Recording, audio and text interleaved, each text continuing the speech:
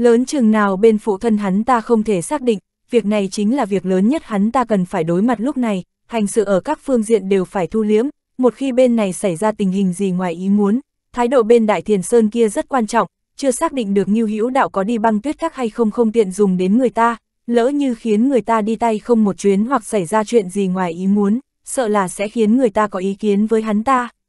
Chuyện đồng giao vừa xảy ra, hắn ta hành sự không thể không bắt đầu cẩn thận. Thiệu Tam tỉnh, nói đến Tống Gia Yến Kinh, có một chuyện muốn báo lại cho đại công tử, Vương Hoành một trong những đại thống lĩnh kinh kỳ Yến Kinh đang đòi nữ nhi đã gả cho Tống Gia về, Tống Gia cũng viết một văn thư cho phép con gái hắn tái giá, Vương Hoành công khai việc này, giờ hướng gió của Tống Gia ở Yến Kinh dường như không ổn. Ồ, Thiệu Bình Ba bất ngờ kêu lên, suy nghĩ một chút, chân chờ nói, Tống Cửu Minh chính là tâm phúc của đồng mạch, Vương Hoành lại muốn đoạn tuyệt quan hệ với Tống Gia, xem ra trên triều đình Yến Quốc đã có biến cố gì đó, không biết có liên quan gì đến cái chết của Tống Long không, việc này cứ cho người tiếp tục chú ý. Rõ, Thiệu Tam tỉnh đáp, lại hỏi, vậy chuyện này có còn cần phải thông báo cho Tống Gia không? Triều đình Yến Quốc cũng muốn thu thập hắn, huống hồ thế lực triều đình Yến Quốc lớn hơn. Thiệu Bình ba hơi lắc đầu, chuyện dịch chạm, ta đã chú ý những lời khai của kẻ bị bắt, những nhân viên tình báo Yến Quốc sử dụng đều rất cẩn thận, căn bản không hề khiến người khác phải có bất kỳ nghi ngờ gì, chỉ truyền tin qua lại thôi. Sao Ngưu Hữu Đạo có thể nắm được rõ tình hình dịch trám như vậy? Ta nghi ngờ không biết có phải có người đã để lộ tin tức cho hắn không? Triều đình Yến Quốc nhiều người miệng cũng lẫn lộn, chúng ta không biết rõ tình hình, cứ để Tống ra đi xử lý đi, Tống ra có vô dụng mấy thì chúng ta vẫn nắm được rõ tình hình hơn so với Yến Quốc. Vâng, Thiệu Tam tỉnh khẽ gật đầu. Còn nữa, chuyện hộ vệ gần đây an bài kín đáo một chút. Thiệu Bình ba nghiêm mặt nhắc nhở, không còn cách nào khác, bị dính chuyện đồng giao, hắn ta bị đẩy lên đầu sóng ngọn gió, cho dù là Yến quốc hay Hàn Quốc, những kẻ muốn diệt trừ Thiệu Đăng Vân tự xây dựng quân đội riêng e là đều để mắt tới hắn ta. Việc này khiến trong lòng hắn ta có tư vị không thể nói ra được. Ngưu Hữu Đạo tùy tiện hành động một chút đã khiến hắn ta phải chịu áp lực ở các phương diện, hắn ta chỉ có thể có ít thời gian để nhớ đến chuyện truy sát Ngưu Hữu Đạo, cảm giác thấp thỏm này khiến hắn ta cảm thấy rất không thích. Rõ, Thiệu Tam tỉnh đồng ý, thấy hắn ta không phân phó gì thêm bèn nhắc nhở, đại công tử, nhanh đi tắm rửa một chút, đừng để thứ sử đại nhân chờ lâu. Thiệu Bình ba lấy lại tinh thần, nhanh chân ra khỏi phòng, đi thẳng đến phòng tắm. Sau khi đến phòng tắm trực tiếp cởi hết quần áo ra, vén màn tơ lên, đi ra sau tắm gội, sau đó lại ngâm mình trong làn nước ấm của bồn tắm. Ngoài màn tơ, nha hoàn bước vào, đặt quần áo xuống. Nha hoàn rời đi, một nữ tử bóng dáng yểu điệu, mặc chiếc váy dài màu xanh chói mắt bước vào. Nữ tử trong lòng ôm cổ cầm, đặt đàn trên trác án trong phòng, ngồi bên đàn, 10 ngón tay thon dài đặt xuống, tiếng đàn tinh tang yêu nhã vang lên. Tóc búi cao, dung mạo hoa nhường nguyệt thẹn, trên gương mặt nở nụ cười vũ mị nghiêng đầu nhìn bóng người lờ mờ đang ngâm mình trong bồn tắm sau màn. Nữ tử tên Tô Chiếu, cũng là biểu tỷ của Thiệu Bình Ba, cũng được coi là một tu sĩ duy nhất bên triệu gia này. Thiệu Bình Ba nhắm mắt ngâm mình trong nước nghe thấy tiếng đàn liền mở mắt, quay đầu nhìn về phía bóng người mông lung ngoài màn tơ, cười nói Chiếu tỷ về từ lúc nào. Tiếng đàn dừng lại, bóng người đứng dậy, giọng nói đẹp đẽ vang lên, vừa về Hàn Quốc nghe nói có một bài đồng giao gây bất lợi cho đệ nên lập tức chạy về Bắc Châu, xảy ra chuyện gì vậy? Thiệu Bình ba hắt nước vào mặt, nghe nói đến Ngưu Hữu Đạo chưa? Chính là tên giết hiến Sứ đấy. Hắn ta kể đại khái tình hình, bóng dáng Tô Chiếu đi qua đi lại bên ngoài màn tơ. Ngưu Hữu Đạo này độc thật đấy. Thiệu Bình ba, việc này không cần tỷ quan tâm, tỷ dồn tinh lực vào việc đả thông tề quốc và vệ quốc đi, nếu muốn Bắc Châu có tư cách thì không thể thiếu một lượng chiến mã và lương thảo lớn. Đợi Bắc Châu vượt qua được khốn cảnh thiên tai, tài lực dư giả, đệ sẽ xử lý việc này. Chiếu tỷ, việc liên quan đến tương lai Bắc Châu, trách nhiệm của tỷ rất trọng đại. Tô Chiếu, ta biết rồi, ta nghe đến mức lỗ tai thành kén rồi, ta vẫn đang làm, không hề buông lỏng, đệ yên tâm đi. Sau khi tắm rửa xong, Thiệu Bình ba ra gian ngoài ngồi xuống trước bàn trang điểm, Tô Chiếu phất tay cho nha hoàn lui, tự mình ra tay trải tóc cho hắn ta. Đã lâu không gặp, không có việc riêng gì cần nói với ta ngoài chuyện công à. Tô Chiếu mỉm cười hỏi, Thiệu Bình ba, đợi lát nữa nói, đệ vừa về, còn phải đi phục mệnh với phụ thân. Tô Chiếu trầm mặc một lúc, đột nhiên hỏi, đệ sẽ lấy ta sao? Thiệu Bình ba, còn cần phải nghi ngờ sao? Tô Chiếu, được, cho ta một thời gian xác thực. chương 246, cho mẫu tử chúng một con đường sống một. Thiệu Bình ba nhíu mày, tỷ đang đùa à? Giờ cưới tỷ, thân phận của tỷ một khi công khai làm sao có thể đi làm việc bên Tề Quốc? Chẳng lẽ tỷ đã quên đại thù của gì và dượng? Tô Chiếu, ta thấy đệ đã thích đường nghi kia rồi. Thiệu Bình ba thở dài, đường nhi là phụ nữ đã có chồng, mục đích ta theo đuổi nàng ta là gì tỷ cũng biết, giá trị của triệu hùng ca còn cần ta nói với tỷ nữa sao? Tô Chiếu nở nụ cười yêu sầu, tay không ngừng lại, đạo lý ta hiểu, nhưng trong lòng ta thật sự không chắc chắn. Ta làm chuyện dơ bẩn, một khi để có ngày đó, còn có thể cưới loại người như ta sao? Thiệu Bình ba đưa tay lên giữ lấy bàn tay mềm mại của nàng ta, nhìn nàng ta trong gương, đừng nghĩ nhiều, đệ mãi chưa thành thân là vì cái gì. Chiếu tỷ, đời này đệ không cưới ai ngoài tỷ. Tô Chiếu yếu ớt thở dài, chỉ mong là vậy. Phủ thứ sử Bắc Châu, Thiệu Bình ba vừa tẩy sạch phong tràn nhanh chân bước vào, Dương song quản gia phủ thứ sử nghe tin liền đến, tự mình dẫn Thiệu Bình ba đi. Hai người vừa đi vừa trò chuyện, một thiếu nữ vui vẻ xinh đẹp từ trong hoa viên nhảy nhót chạy tới, tướng mạo khá giống Thiệu Bình ba, chính là muội muội cùng mẹ với hắn ta, Thiệu Liễu Nhi. Thấy đại ca xuất hiện, sự vui vẻ của Thiệu Liễu Nhi lập tức bị thu lại, quy củ như một thục nữ đi tới, rõ ràng là hơi sợ người đại ca này. Đại ca, Thiệu Liễu Nhi phúc thân hành lễ, vừa đứng dậy đã định chạy sang một bên. Dừng lại, Thiệu Bình ba lạnh lùng một tiếng, thân hình Thiệu Liễu Nhi cứng đờ, rụt rè sợ hãi nói, đại ca có gì cần phân phó. Quản gia Dương song mỉm cười, mấy huynh muội này đều sợ đại ca này. Thiệu Bình ba lặng lẽ nói, nghe nói các muội gần đây làm cái thi từ xã gì đó, hình như cả ngày muội lăn lộn với cái đám đầu dầu má phấn, không có dáng vẻ của nữ nhi đúng không? Thiệu Liễu Nhi, đại ca nói chuyện khó nghe quá, giao lưu thi từ ca phú thôi, sao lại thành lăn lộn? Thiệu Bình ba, thi từ ca phú có thể có cơm ăn, có thể ra trận giết địch sao? Cũng không xem thử bây giờ là lúc nào, bao nhiêu bách tính Bắc Châu bụng ăn không no, các muội cả ngày ăn chơi đàng điếm, khoác lác khắp nơi, khiến bác tính nghĩ như thế nào? Thiệu Liễu Nhi, đại ca nói đúng lắm, để muội bảo bọn họ sau này thu liếm một chút. Cơ thể Thiệu Bình ba hơi nghiêng về trước đến trước mặt nàng, nghe ý muội là vẫn muốn tiếp tục lêu lỏng với họ đúng không? Thiệu Liễu Nhi thấp giọng lầm bầm, đại ca, làm gì mà lêu lỏng, thì từ ca phú là chuyện tao nhã, có thể nung đúc tình cảm, đều là những người cùng chung chí hướng. Thiệu Bình ba cùng chung chí hướng, một nha đầu miệng hôi sữa chưa biết sự đời, nếu muội không phải nữ nhi của thứ sử, thử xem có mấy người cùng chung chí hướng với muội. Hàng ngày muội được người ta tâng bốc vui lắm đúng không? Sau này ngoan ngoãn ở nhà đọc sách, viết chữ, học vài thứ nữ nhân nên học, còn dám chạy loạn thử xem. Thiệu Liễu Nhi, nhị nương đồng ý muội mới đi. Thiệu Bình ba hít mắt, nghe nói muội rất thân thiết với Đàm Diệu Hiển đúng không? Lúc nào rảnh dẫn hắn tới gặp ta. Thiệu Liễu Nhi mặt mày lập tức hoảng sợ nói, đại ca, đều là bằng hữu của muội, huynh đừng làm loạn. Thiệu Bình ba, ta nói cho muội biết, hôn nhân đại sự của nữ nhi đều do phụ mẫu làm chủ, không phải do muội làm bậy, nếu muội không muốn hại hắn thì quản mình cho kỹ đi. Dứt lời quay đầu nhanh rời đi, Dương song lắc đầu, đuổi theo, hốc mắt Thiệu Liễu Nhi đỏ lên, nước mắt tủi thân bắt đầu ứa ra. Chính sự đường, nơi xử lý công vụ của phủ thứ sử. Lão nhị thiệu gia thiệu vô ba đang ngồi trong bàn bạc chính vụ với mấy quan lại. Lão tam thiệu gia thiệu phục ba trên người còn mặc giáp trụ, tựa bên cửa sổ, miệng ngậm chiếc lá, hơi nhàm chán nhìn ra ngoài cửa sổ, ánh mắt đột nhiên đình trệ, rời khỏi cửa sổ, đi tới bên cạnh thiệu vô ba, giật giật áo của thiệu vô ba, nhị ca, tới rồi, tới rồi. Mấy người trong phòng đều nhìn ra ngoài cửa, thấy thiệu bình ba đang nhanh chân bước đến nhưng không vào đây mà cùng dương song cua sang một hướng khác. Thấy người đi rồi, thiệu phục ba hừ hừ nói, vân vô giả, ba vô thật. Thiệu vô ba huyết trỏ đụng gã một cái, bảo gã ngậm miệng. Bên cạnh chính sự đường có một lầu các, thiệu đăng vân dáng người cao to đứng trên lầu các, thấy nhi tử bước đến dưới lầu, ánh mắt có chút phức tạp. Nghĩ lại năm đó khi Ninh Vương vẫn còn, đứa con trai này lại nghĩ đủ mọi cách khuyên lão từ bỏ kinh thành phồn hoa, chủ động xin đi đóng giữ biên cảnh Bắc Châu, về sau Ninh Vương lâm nạn, triều đình thanh tẩy bộ hạ cũ của Ninh Vương, lão lại khởi binh phản quốc dưới sự thôi thúc của nhi tử, tránh thoát một kiếp, thành chư hầu một phương. Lúc ấy phản hay không phản lão rất do dự, Ninh Vương đã một tay để bạt lão từ một bách phu trưởng nho nhỏ lên thành đại tướng tay nắm đại quyền binh mã, nhận ân trọng của binh vương. Thứ hai, sau khi phản quốc, địch quốc cũng chưa chắc có thể thiện đãi ngươi. Nhưng đến lúc xảy ra chuyện lão mới phát hiện, rất nhiều chuyện đứa con trai này đều đã giúp lão chuẩn bị xong. Sau đó lão mới ý thức được, từ lúc khuyên lão rời khỏi kinh thành, đứa con trai này đã không coi trọng Ninh Vương, đều đã chuẩn bị sẵn cho ngày này.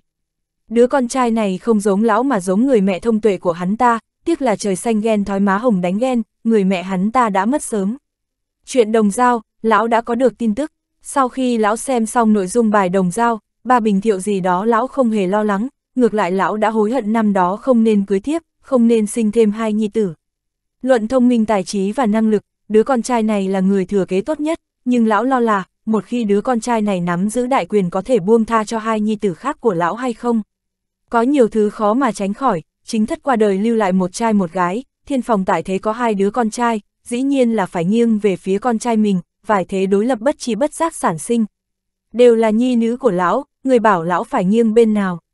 Có một số việc lòng dạ biết rõ, lão cũng chỉ có thể giả bộ hồ đồ.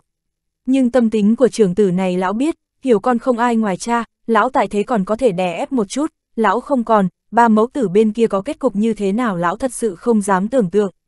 Lão biết rõ, ba mẫu tử kia căn bản không phải đối thủ của nhi tử này, nhưng lại không chịu an phận, vì cái gì thì lão cũng có thể lý giải được. Cho nên lão hối hận, nếu năm đó lão không cưới, chỉ có một trai một gái, rất nhiều chuyện đều rất dễ làm. Thiệu Bình ba leo lên lầu các đi đến sau lưng Thiệu Đăng Vân, đối mặt với bóng lưng to lớn của phụ thân chắp tay hành lễ, phụ thân. Thiệu Đăng Vân đưa lưng về phía sau nói, lần này đi kinh thành xin cơm, làm khó con rồi.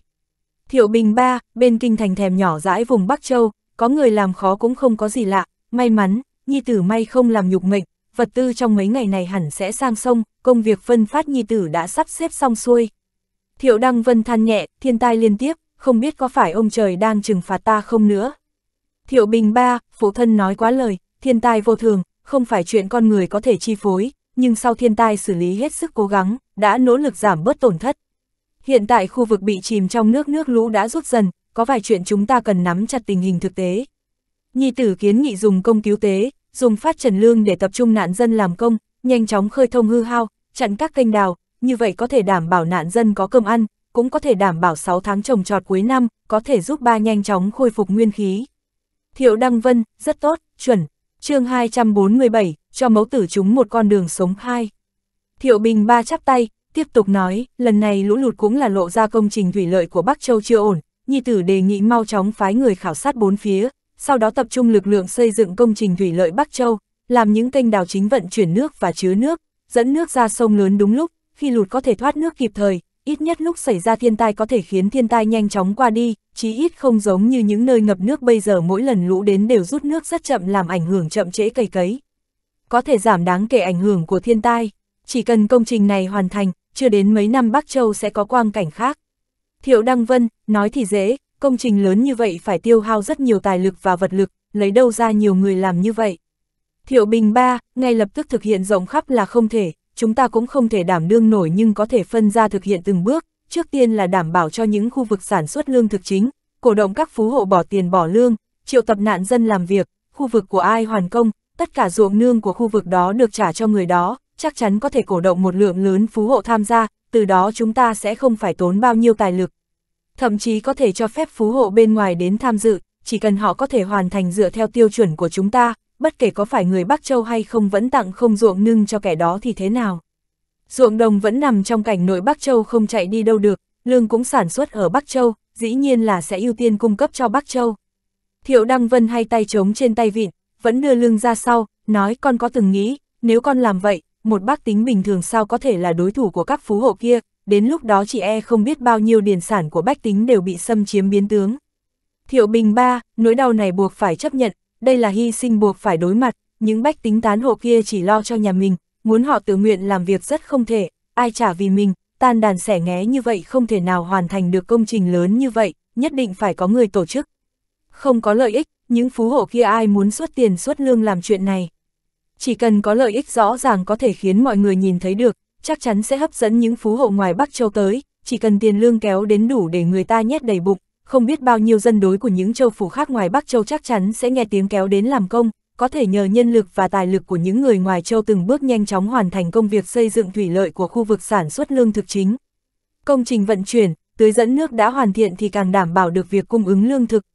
Người bốn phương tám hướng sẽ càng tụ tập đến nhiều trong thời loạn thế này, dân châu ngoài đến Bắc Châu có cơm ăn thì sẽ bám dễ sinh trồi, tự nhiên trở thành người Bắc Châu. Chỉ cần nhân khẩu thịnh vượng sung túc, nguồn mộ lính Bắc Châu sẽ sung túc, nhân khẩu phồn vinh, thương mẫu tự nhiên phồn vinh, tài phú tự nhiên sẽ tụ tập về đây, mấy năm về sau, Bắc Châu sẽ là một nơi giàu có, đây sẽ là căn cơ để thiệu ra chúng ta đặt chân lâu dài. Đương nhiên, năm nay trước hết là phải bắt đầu công việc gieo trồng sau tai nạn, vượt qua khốn cảnh trước mắt trước, không được để xảy ra rối loạn. Thiệu Đăng Vân, việc này, các người hãy trình một bản tấu chương chi tiết trước đã. Rõ, Thiệu Bình Ba đồng ý, lấy một tờ giấy trong ống tay áo, cung kính dâng lên bằng hai tay, phụ thân. Thiệu Đăng Vân quay đầu nhìn, chậm rãi quay người, cầm tờ giấy, miệng lẩm bẩm, vua Bắc Châu, vua Bắc Châu. Một cục đường, cái này ta đã đọc rồi, có biết ai làm không? Ngưu Hữu Đạo, trên đường từ kinh thành trở về con có gặp hắn. Thiệu Bình Ba kể lại tình hình đại khái. Thiệu Đăng Vân vẫy vẫy tờ giấy trong tay, giáp tâm độc ác, đây là muốn ly giám phụ tử chúng ta. Thiệu Bình Ba, phụ thân minh giám, nếu con tiếp trưởng Bắc Châu, con định xử trí ba mẫu tử họ như thế nào? Thiệu Đăng Vân đột nhiên nói ra một câu như vậy. Thiệu Bình Ba sướng sờ, sướng sờ nhìn lão, cho dù đã nhanh chóng đoán ra là có ý gì nhưng vẫn sửng sốt không dám nói tiếp. Có thể từ một tiểu tốt leo lên vị trí tướng lĩnh nắm đại quyền binh mã, phụ thân trông có vẻ thô lỗ nhưng lại là một người bên ngoài thô lỗ trong lòng kín kẽ. Binh quyền Bắc Châu đều nằm trong sự khống chế của phụ thân. Tướng lĩnh lớn nhỏ đều là người của phụ thân, những người khác khó mà nhúng chàm.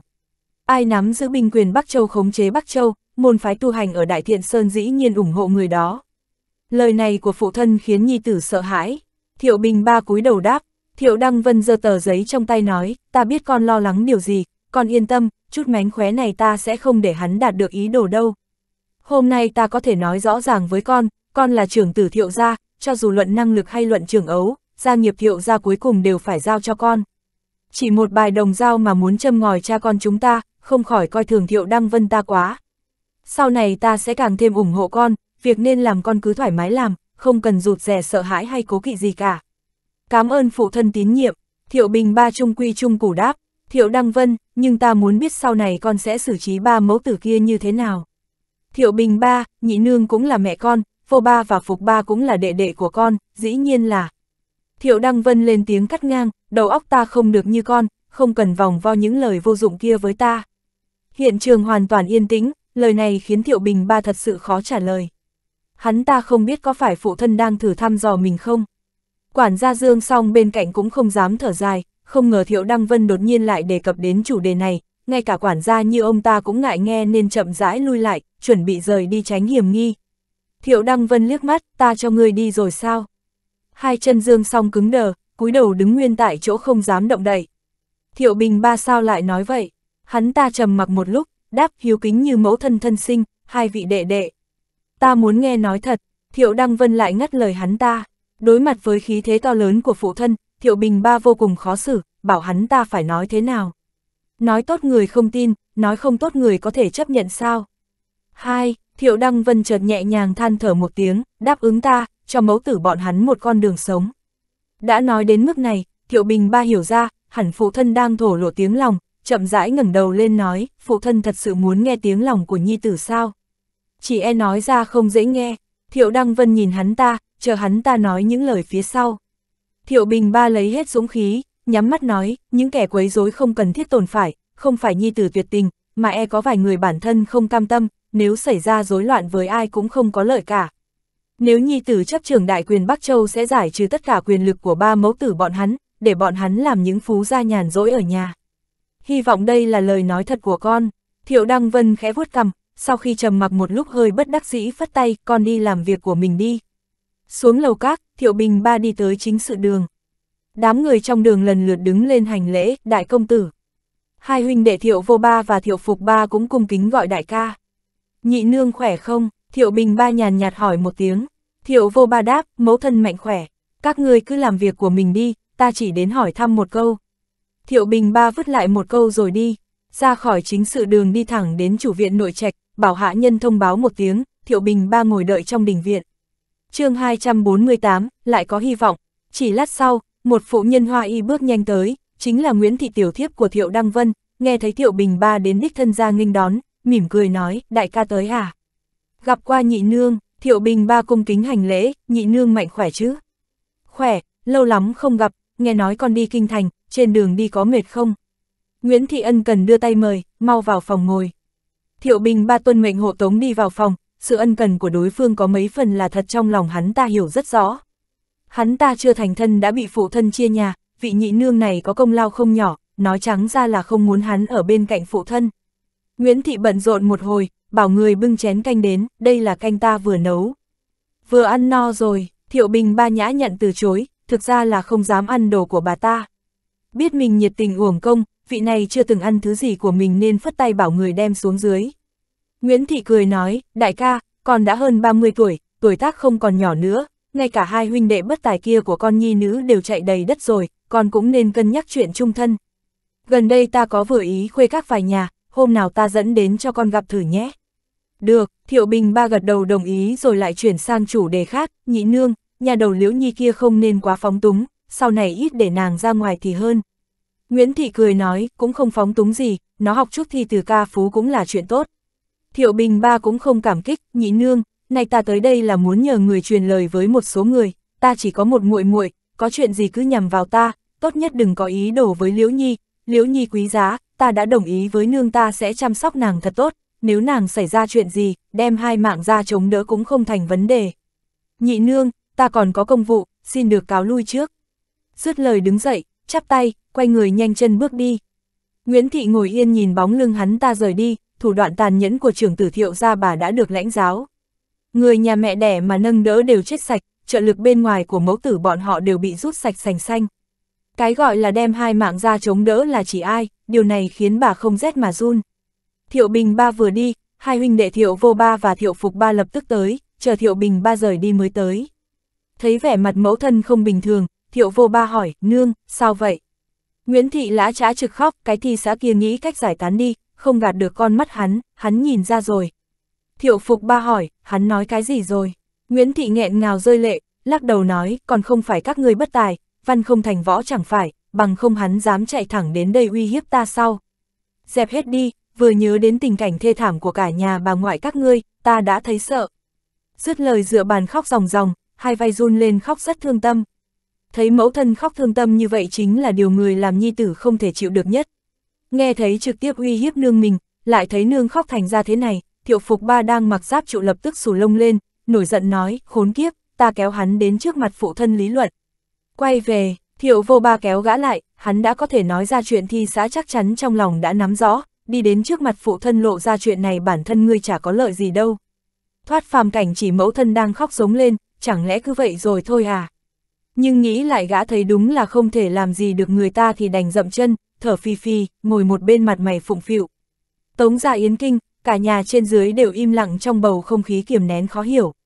Thế lực được xây dựng trên quyền lực, một khi mất đi quyền lực, thế lực lập tức tan rã.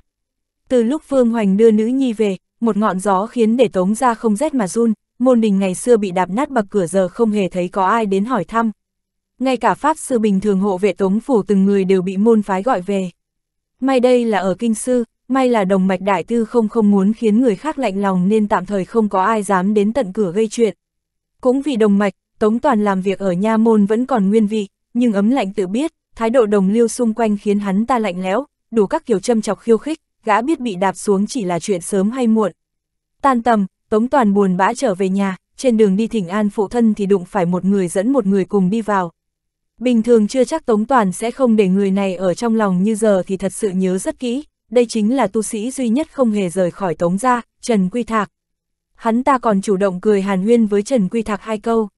Chính đường nội trạch, Tống Cửu Minh ngồi ngay ngắn, Tống Thư và Lưu Lộc đứng thẳng hai bên.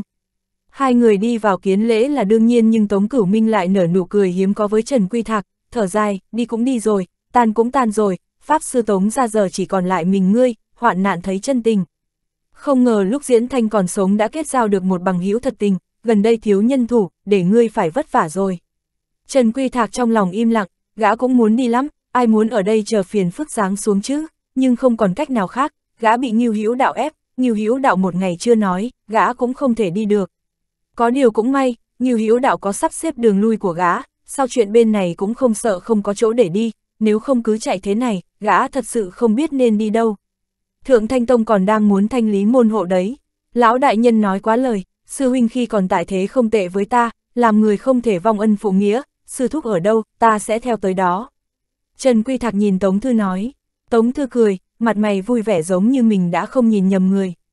Tống Cửu Minh gật đầu, gương mặt thưởng thức, trong lòng cũng vô cùng cảm khái, thực sự cảm thấy hoạn nạn gặp chân tình, thế đạo bây giờ, người thế này thật sự không nhiều lắm. Lão phất tay với Lưu Lộc, Lưu Lộc cầm kim phiếu 10 vạn đi tới nhét vào trong tay gã. Vừa nhìn thấy nhiều tiền như vậy, trước nay chưa từng có, trong lòng Trần Quy Thạc dở khóc dở cười, không ngờ thế này lại thành ra phát tài lớn, vốn liếng của tống gia này đúng là không phải hùng hậu bình thường. Gã vội vàng giả vờ từ chối, vô công bất thụ lộc. Nhét trở về cho Lưu Lộc, Tống Thư quát, ra mồm cái gì, cho ngươi thì ngươi cứ nhận đi, đây là thứ ngươi nên được nhận. Thấy thế, Trần Quy Thạc đành phải ngượng ngùng chắp tay cảm ơn.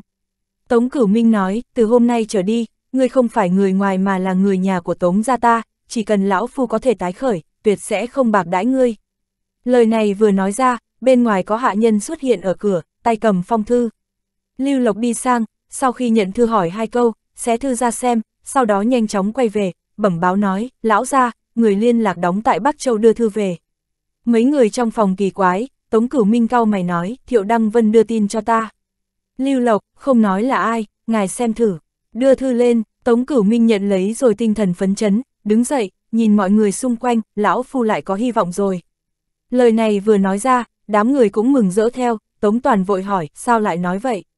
Tống Cửu Minh trầm giọng nói, trên thư nói nhiều hữu đạo đang ở Hàn Quốc, bên Bắc Châu đã xác định hắn muốn đi băng tuyết các đại tuyết sơn cầu xích dương chu quả cho nhi tử hải như nguyệt chữa bệnh, chỉ cần bắt được Ngưu Hữu Đạo sẽ lấy công chuộc tội, bên tướng ra cũng có lý do để nói giúp cho ta.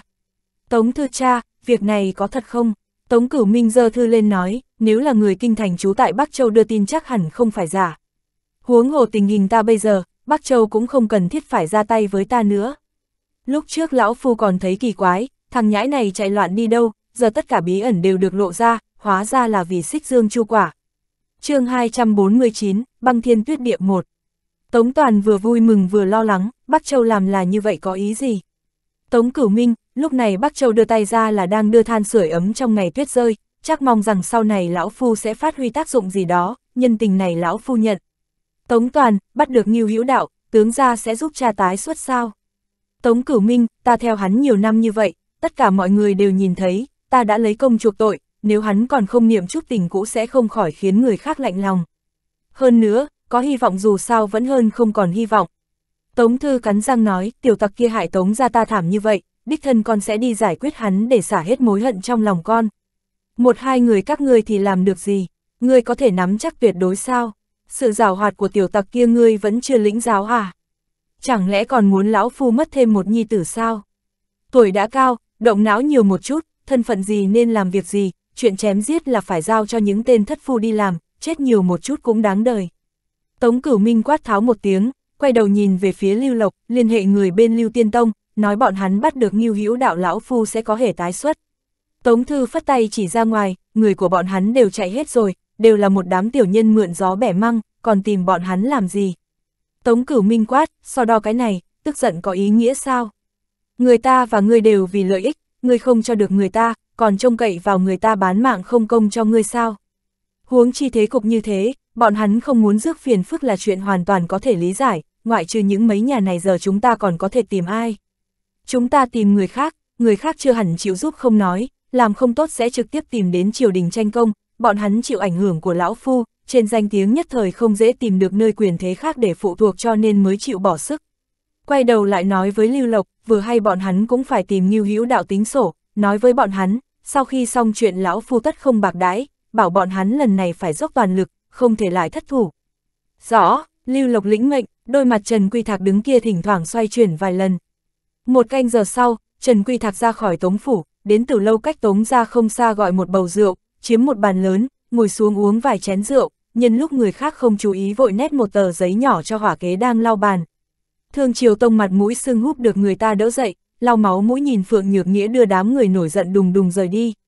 Không còn cách nào khác, giấy không thể gói được lửa, Phượng Nhược Nam cuối cùng đã biết chân tướng, biết căn bản không có chuyện 10 vạn nha tướng kia, đơn thuần chỉ là một vụ lừa cưới.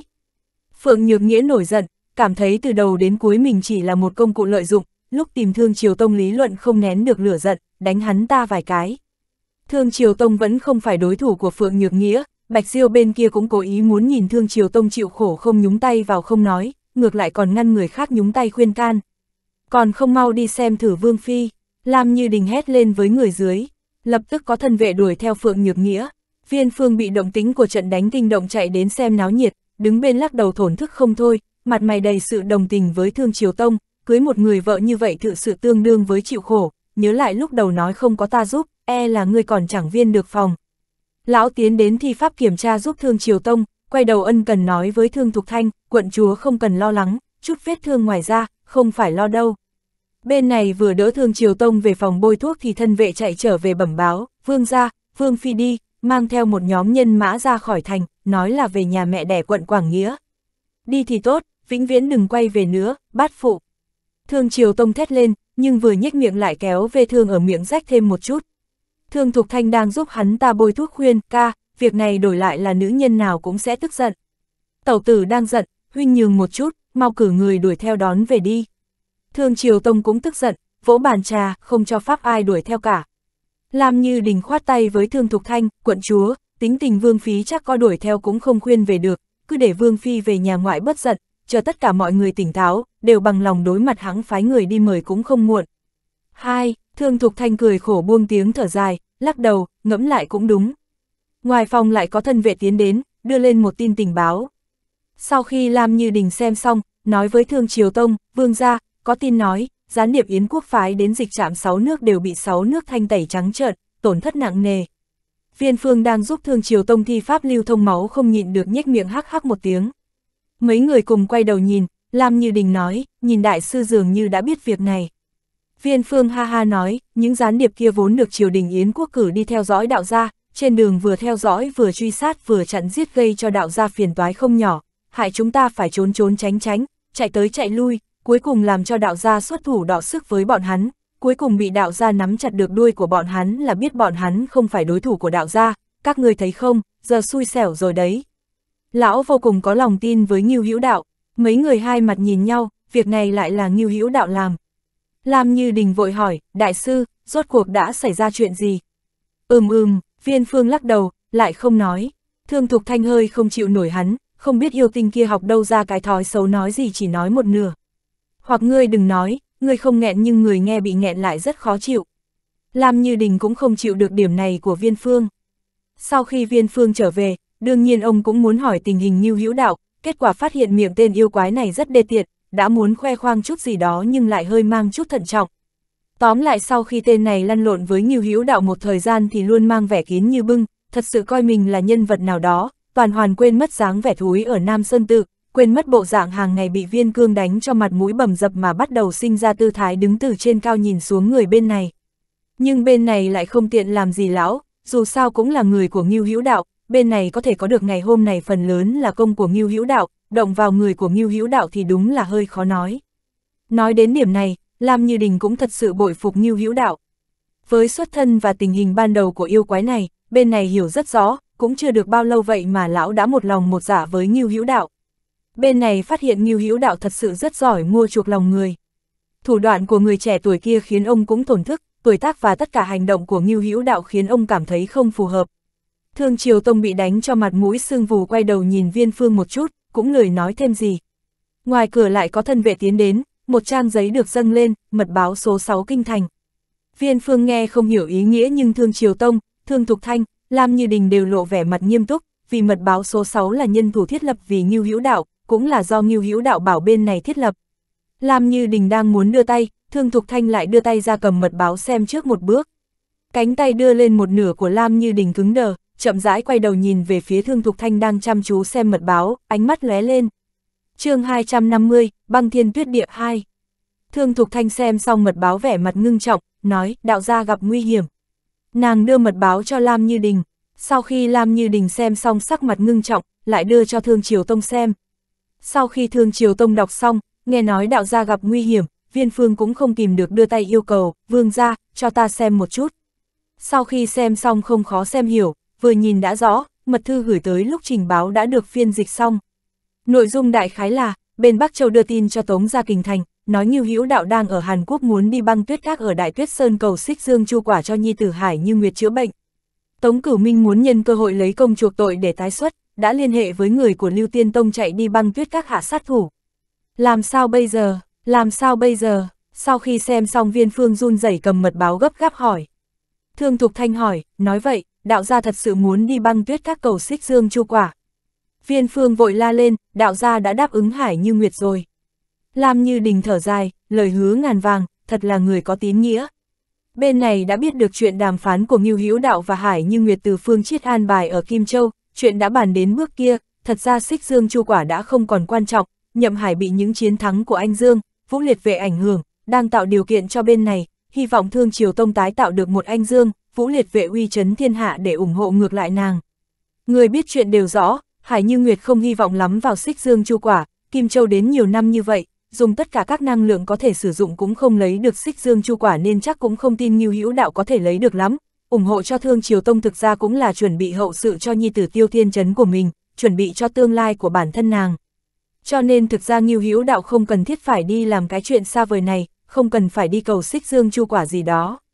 Viên Phương, tín nghĩa cái gì, đương nhiên đạo gia là người nói lời giữ lời. Nhưng đạo gia cũng vì muốn tốt cho các ngươi, lúc đàm phán với Hải Như Nguyệt, ta ở bên cạnh nên ta rất rõ. Thực ra đạo gia không cần thiết phải rước phiền toái này, sau đó ta có khuyên đạo gia không cần phiền toái như vậy, các ngươi có biết đạo gia nói thế nào không? Lam Như Đình hỏi, nói thế nào? Viên Phương, đạo gia nói, anh Dương, Vũ Liệt Vệ không biết lúc nào mới có thể gầy dựng được, bệnh tình của Tiêu Thiên Trấn hắn đã đích thân kiểm tra, không ổn, không kiên trì được quá lâu, nói không chừng ngày nào đó sẽ chết đột ngột, đến lúc Deeto hoàn cảnh của Hải Như Nguyệt khó khăn, Kim Châu bên kia đổi chủ, mối quan hệ với vương gia bên này có xảy ra biến cố hay không? Cho nên đạo gia mới kiên trì đi cầu xích dương chu quả, các người có biết dọc đường nguy hiểm thế nào không? Các người biết có bao nhiêu người muốn đưa đạo gia vào chỗ chết không? Các người không biết, các người không thấy đạo gia đã chém giết đẫm máu với những kẻ đuổi theo hắn như thế nào? Đạo gia đang liều mạng vì các người đó. Đạo gia đang dốc hết tâm huyết vì thương gia các ngươi, người biết có bao nhiêu người muốn đưa đạo gia vào chỗ chết được. Cho dù có hơi khoa trương nhưng hầu hết cũng là sự thực, cùng thực sự gấp quá rồi, vì bản thân lão không đủ khả năng. Lão sốt ruột cũng vì một tầng nguyên nhân khác, lợi ích của lão bất chi bất giác đã cột chung với Ngưu Hữu Đạo. Lão hiểu, một khi Ngưu Hữu Đạo đã xảy ra chuyện gì, lão ở đây chẳng là cái dám gì cả, rời khỏi bên này chưa chắc đã có thể lập được thành tựu gì, yêu tinh này không ngu đâu nhé. Tiểu Nam Sơn hoang vô kia đã không thể quay về nữa, ra ngoài trải nghiệm rồi không thể quay về làm mấy chuyện nho nhỏ ở Tiểu Nam Sơn kia được, tâm đã lớn mất rồi. Những lời này vừa nói ra, hốc mắt thương thục thanh trong nháy mắt đỏ lên, răng ngà cắn chặt môi. Thương triều tông mặt mũi sương vù cũng động dung, thần sắc ngưng trọng, quên đi đau đớn trên người, đứng lên đối mặt nói trụ trì. Ngay lập tức hắn ta lại đổi sang cách xưng hô tôn kính hơn, đại sư, người không nên gấp, chúng ta tất nhiên sẽ không ngồi yên không màng tới. Có điều ta không rõ, Bắc Châu sao lại biết kế hoạch và hành tung đạo gia? Việc này sao lại dính đến thiệu gia Bắc Châu? Viên phương nâng hai tay lên, ta chia tay với đạo gia ở triệu quốc, chuyện bên Hàn Quốc sao ta biết được. Thương Thục Thanh Trần chờ nói, Thượng Thanh Tông hình như đang ở Bắc Châu, không phải Thượng Thanh Tông tìm nơi nương tựa sao, có thể liên quan đến Thượng Thanh Tông không? Nàng có ấn tượng rất sâu về chuyện này, trưởng môn Thượng Thanh Tông đường nghi là thê tử trên danh nghĩa của Ngưu Hữu Đạo nên lập tức có phản ứng. Mấy người như có điều suy nghĩ, cũng đều nghi ngờ theo hướng này, họ đều từng tận mắt chứng kiến Thượng Thanh Tông chặn giết Ngưu Hữu Đạo trên Nam Sơn Tự, đều biết Thượng Thanh Tông muốn dồn Ngưu Hữu Đạo vào chỗ chết. Hay cho một Thượng Thanh Tông, đừng để rơi vào tay Bần Tăng, nếu không nhất định Bần Tăng sẽ giết không tha. Viên Phương thầm mắng, lại chắp tay trước ngực nói, A-di-đà Phật, thiện tai thiện tai. Sau khi về lại bên cạnh chúng Tăng Nam Sơn Tự, lão thường xuyên nhắc nhở mình là Tăng Nhân. Thứ ngay cả Hải như Nguyệt cũng không thấy được, Lam Như Đình lại nói nửa câu lắc đầu, Thương Thục Thanh, đạo gia không phải người lỗ máng, có thể đi tự nhiên có dự định. Bây giờ không phải là lúc nói chuyện này, ca, mời người thiên ngọc môn giúp đỡ một chút đi. Bản thân bên này cũng bất lực, cũng chỉ có thể mời người của thiên ngọc môn hỗ trợ, thương triều tông khẽ gật đầu, dẫn đám người cùng đi ra. Cả đám đến đình viện Bạch Siêu, tìm Bạch Siêu, nói rõ tình hình. Bạch Siêu đứng dưới tàng cây đưa tay hái chiếc lá, quay đầu lại, hư lạnh nói, với thế lực của Hải Như Nguyệt cũng không làm được, hắn còn chen vào làm gì. Lam Như Đình chắp tay nói, Bạch Tiên Sinh, sự tình có nguyên nhân, Ngưu Hữu đạo tự mình chẩn trị cho Tiêu Thiên Chấn, phát hiện bệnh tình Tiêu Thiên Chấn không ổn, nếu Tiêu Thiên Chấn xảy ra việc gì không hay, chuyện khống chế Kim Châu của Hải Như Nguyệt dễ xảy ra vấn đề, đến lúc đó quan hệ của bên kia và bên này có xảy ra biến cố gì không còn khó nói. Ngưu Hữu đạo làm vậy là vì bên này, cũng là giúp Thiên Ngọc Môn, đối với Thiên Ngọc Môn cũng có lợi. Bạch Siêu trầm mặc, dưới cái nhìn mong đợi của mọi người, từ từ nói, mấu chốt của vấn đề là, các người cũng không biết hành tung của hắn, trời đất bao la đến đâu tìm hắn đây thậm chí cũng không cách nào trực tiếp liên hệ với hắn, Thiên Ngọc Môn cũng chỉ có thể thông báo cho người bên băng tuyết các chuẩn bị trước. Lam Như Đình hỏi, có thể nhờ Thiên Ngọc Môn tạo chút áp lực với người của Lưu Tiên Tông không? Bạch Siêu hỏi lại, tạo áp lực thế nào? Thiên Ngọc Môn dám nhảy ra công khai giúp hắn sao? Môn phái cảnh nội các quốc gia đều có quy tắc, ăn nồi nào nấu nồi nào thì phải đốt củi lò ấy, phá đổ Yến quốc đối với ai cũng không có lợi. Hắn là trọng phạm giết Yến sứ, các ngươi dám công khai thừa nhận quan hệ với hắn sao? Còn nữa, băng tuyết các dễ chọc vào sao? Tên kia gan to bằng trời, ngay cả Yến sứ cũng dám giết, tốt nhất chớ làm loạn với băng tuyết các nếu không ai cũng phải tránh xa hắn một chút. Huyện cửu lĩnh, sau khi bốn người hắc mẫu đơn ra khỏi thành liền phi nhanh đến chân núi ngoại ô, siết cương dừng lại nhìn xung quanh. Trong rừng núi cách đó không xa, một người một ngựa xuất hiện, nhiều hữu đạo ngồi trên lưng ngựa ung dung lắc lư đi đến trước mặt mọi người. Đoạn hổ, ngô tam lượng, lôi tông khang nhìn nhau cười một tiếng, sau khi phân tán cuối cùng cũng gặp lại, cùng chắp tay, đạo ra. Ngưu hữu đạo mỉm cười, xoay ngựa, đi thôi. Cả nhóm năm người xông khỏi vùng hoang vu đi lên đường lớn, mau chóng lao đi. Ra khỏi cảnh nội huyện cửu lính, khí hậu dần dần chuyển sang lạnh lẽo, càng đi về phía bắc nhiệt độ càng thấp.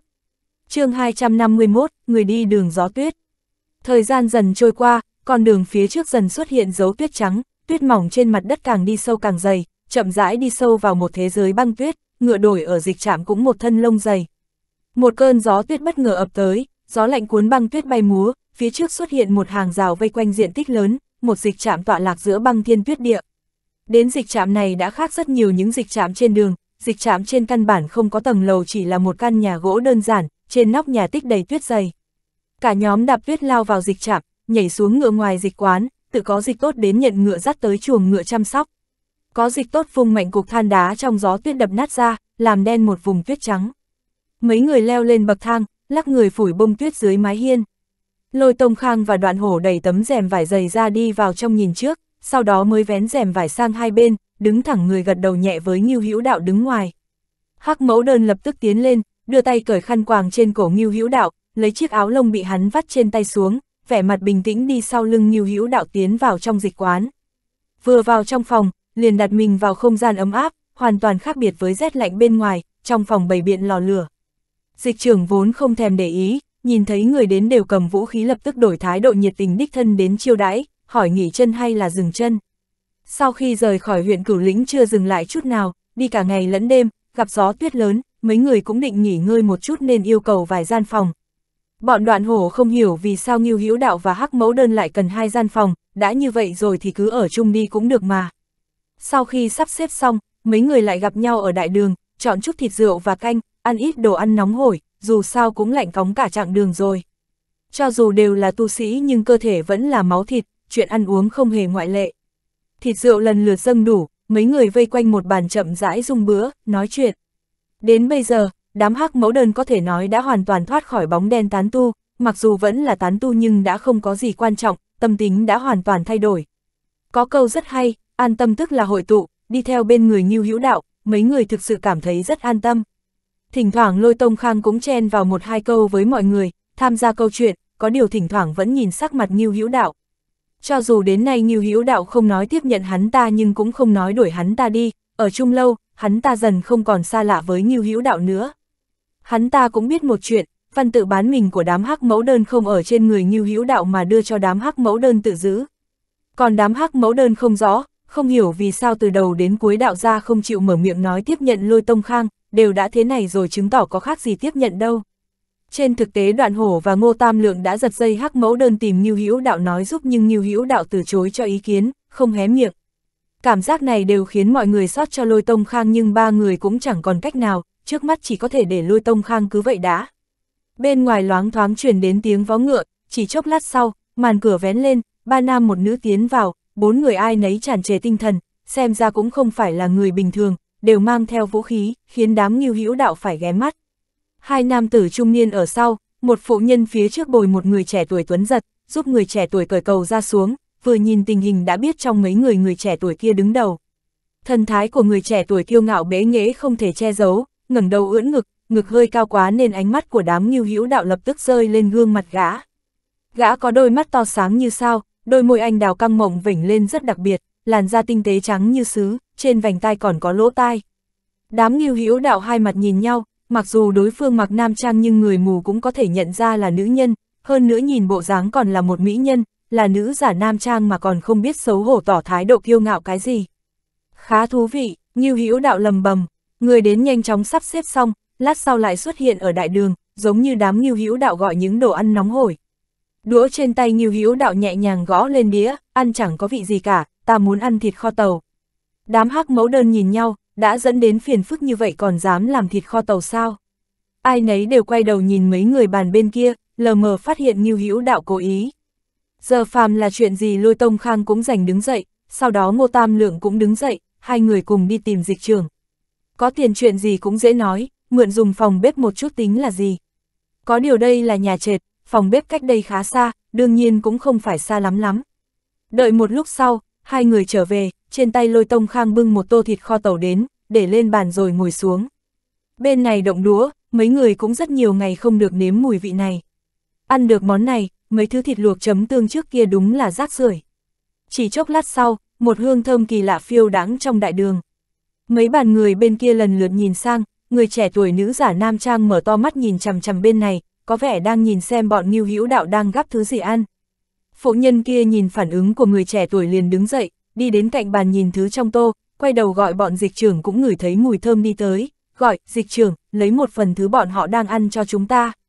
Đám hắc mẫu đơn nữ giả nam trang thấy khóe môi Ngưu Hữu Đạo đang nở nụ cười thần bí mà thận trọng.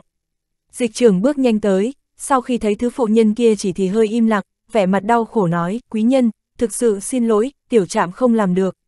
Phụ nhân trầm mặt xuống, có ý gì? Sợ chúng ta không trả tiền nổi sao?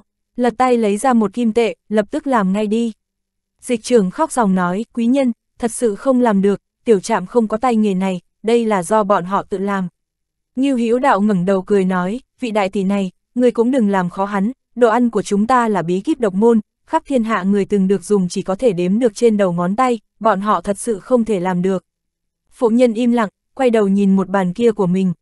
Nghe nói là thứ khắp thiên hạ cũng không có mấy người hưởng qua được người tuổi trẻ kia không kềm được, đứng dậy đi tới có vẻ như muốn nhìn rõ xem rốt cuộc là thứ gì.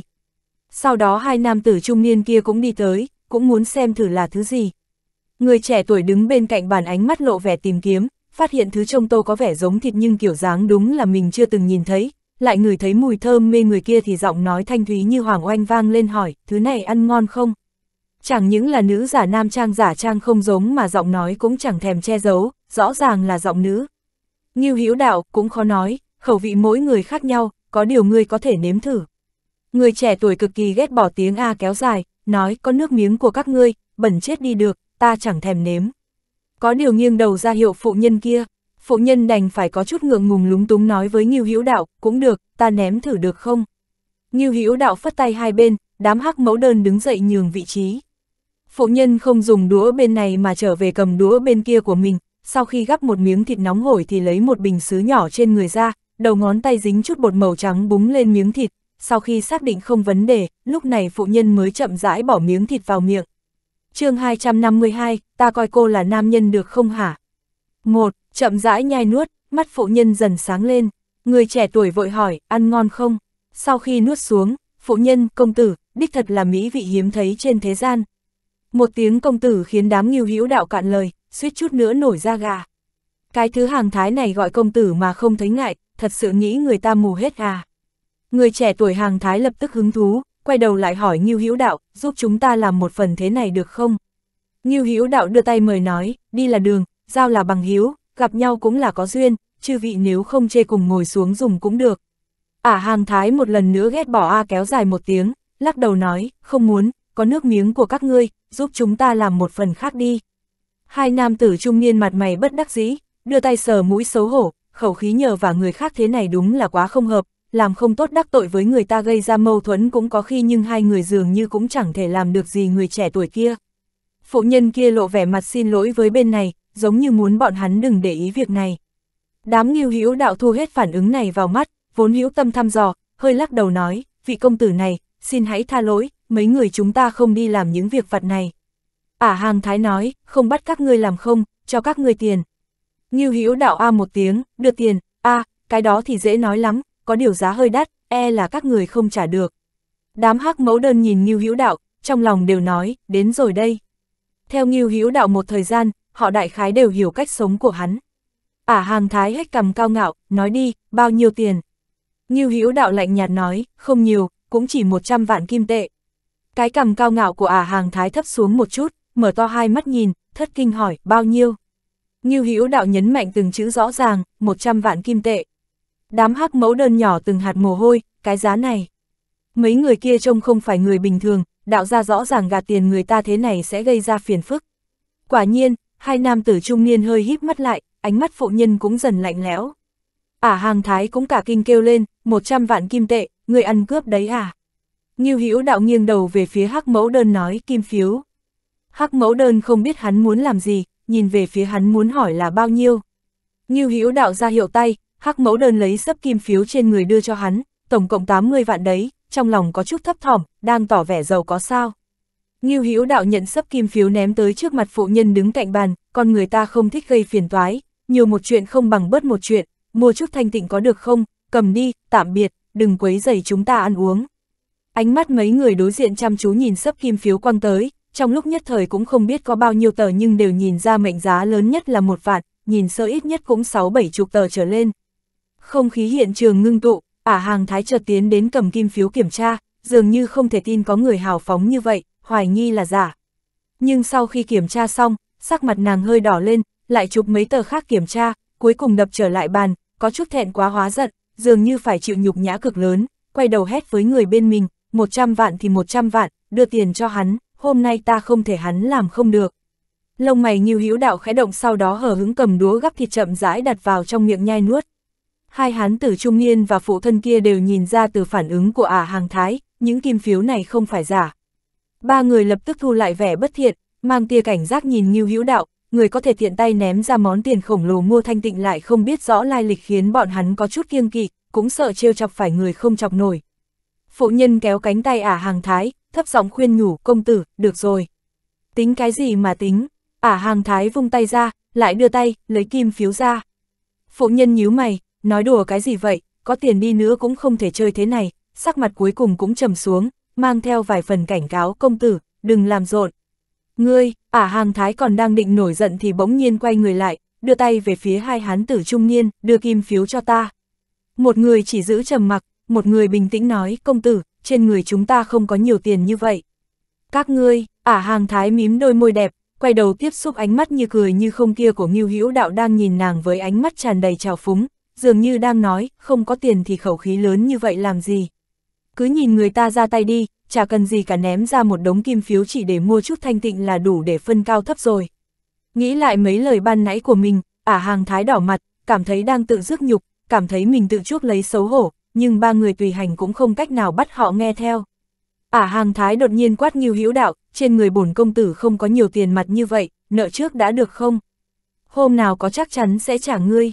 Lời này ngay cả nàng cũng trột dạ, người ta và vốn không quen biết, ngay cả ngươi là ai cũng không biết, nói nợ một khoản tiền lớn như vậy chẳng thực tế chút nào. Nói cách khác, khoác lác đã nói rồi không cách nào thu lại được, chỉ trông chờ đối phương từ chối để mình có bậc thang bước xuống. Ai ngờ Ngưu Hữu Đạo khẽ gật đầu, đưa bút mực giấy nghiên cho hắn, viết giấy nợ đi. Lôi Tông Khang lập tức tìm dịch trưởng lấy bút mực giấy nghiên. Phụ nhân kia nhìn chằm chằm Ngưu Hữu Đạo trầm giọng nói, bằng hữu, công tử chúng ta tuổi trẻ không hiểu chuyện.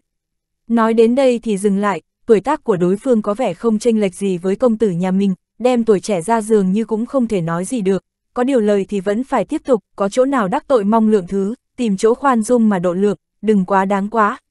Trong lòng hiểu rõ, công tử nhà mình sẽ không chịu được khích, thực sự sẽ viết giấy nợ. Vì một miếng đồ ăn mà thiếu nợ 100 vạn tệ thật sự không thực tế, đợi lúc mấy người bọn họ trở về, trách nhiệm không trông coi tốt rất khó giao nộp, xem người ta như vậy không giống là người ngươi có thể quyệt nợ. Ả à, hàng thái lại quát nàng ta, ai không hiểu chuyện. Ngưu Hữu đạo, ta nói rồi, chúng ta không phải chân chạy việc vặt, ban đầu chính vị công tử này của các ngươi hùng hổ dọa người, ai đúng ai sai trong lòng mọi người nắm rõ. Nghe lời ngươi nói ngược lại thành ta đang cố ý gây rắc rối. Được, tùy các ngươi, rốt cuộc muốn thế nào các ngươi tự giải quyết đi, ta sẽ làm theo. Phụ nhân đưa tay nhấn vai ả hàng thái, thì pháp áp chế nàng không thể động đậy, chỉ có thể dương mắt nhìn, miễn cho nàng tiếp tục quấy rối, hỏi Ngưu Hữu Đạo, mọi người không oán không cừu, như vậy dừng lại ở đây, như thế nào? Lôi Tông Khang lấy bút nghiên giấy mực đến, Ngưu Hữu Đạo lại phất tay, ra hiệu đưa về không cần dùng nữa. Lôi Tông Khang im lặng, đành phải cầm trở lại. Ngưu Hữu Đạo, vị đại tỷ này nói chuyện coi như phân rõ phải trái, ta cũng không phải người không nói đạo lý, được, việc này cho qua như vậy đi. Ta vẫn câu nói kia, đi là đường, giao là bằng hữu ta mời khách. hất cầm về phía sấp kim phiếu trên bàn, đừng lấy những thứ thô tục khiến người ta buồn nôn kia ra, thu dọn đi. Lại nghiêng đầu nói, nếu vị công tử này ngại chúng ta bẩn thì đi làm một người khác, khách khí tặng cho người ta. Rõ, hắc mẫu đơn tiến lên thu đống kim phiếu lại, lôi tông khang và ngô tam lượng lại quay người đi vào phòng bếp. Thấy chuyện qua đi, phụ nhân nhìn chằm chằm ả hàng thái vẫn còn đang dẫy dụa chừng mắt, có vẻ như nghiêm khắc cảnh cáo, sau đó mới buông lỏng ả hàng thái ra, chắp tay với Nghiêu Hữu Đạo, vậy cảm ơn trước chương 253, ta coi cô là nam nhân được không hả?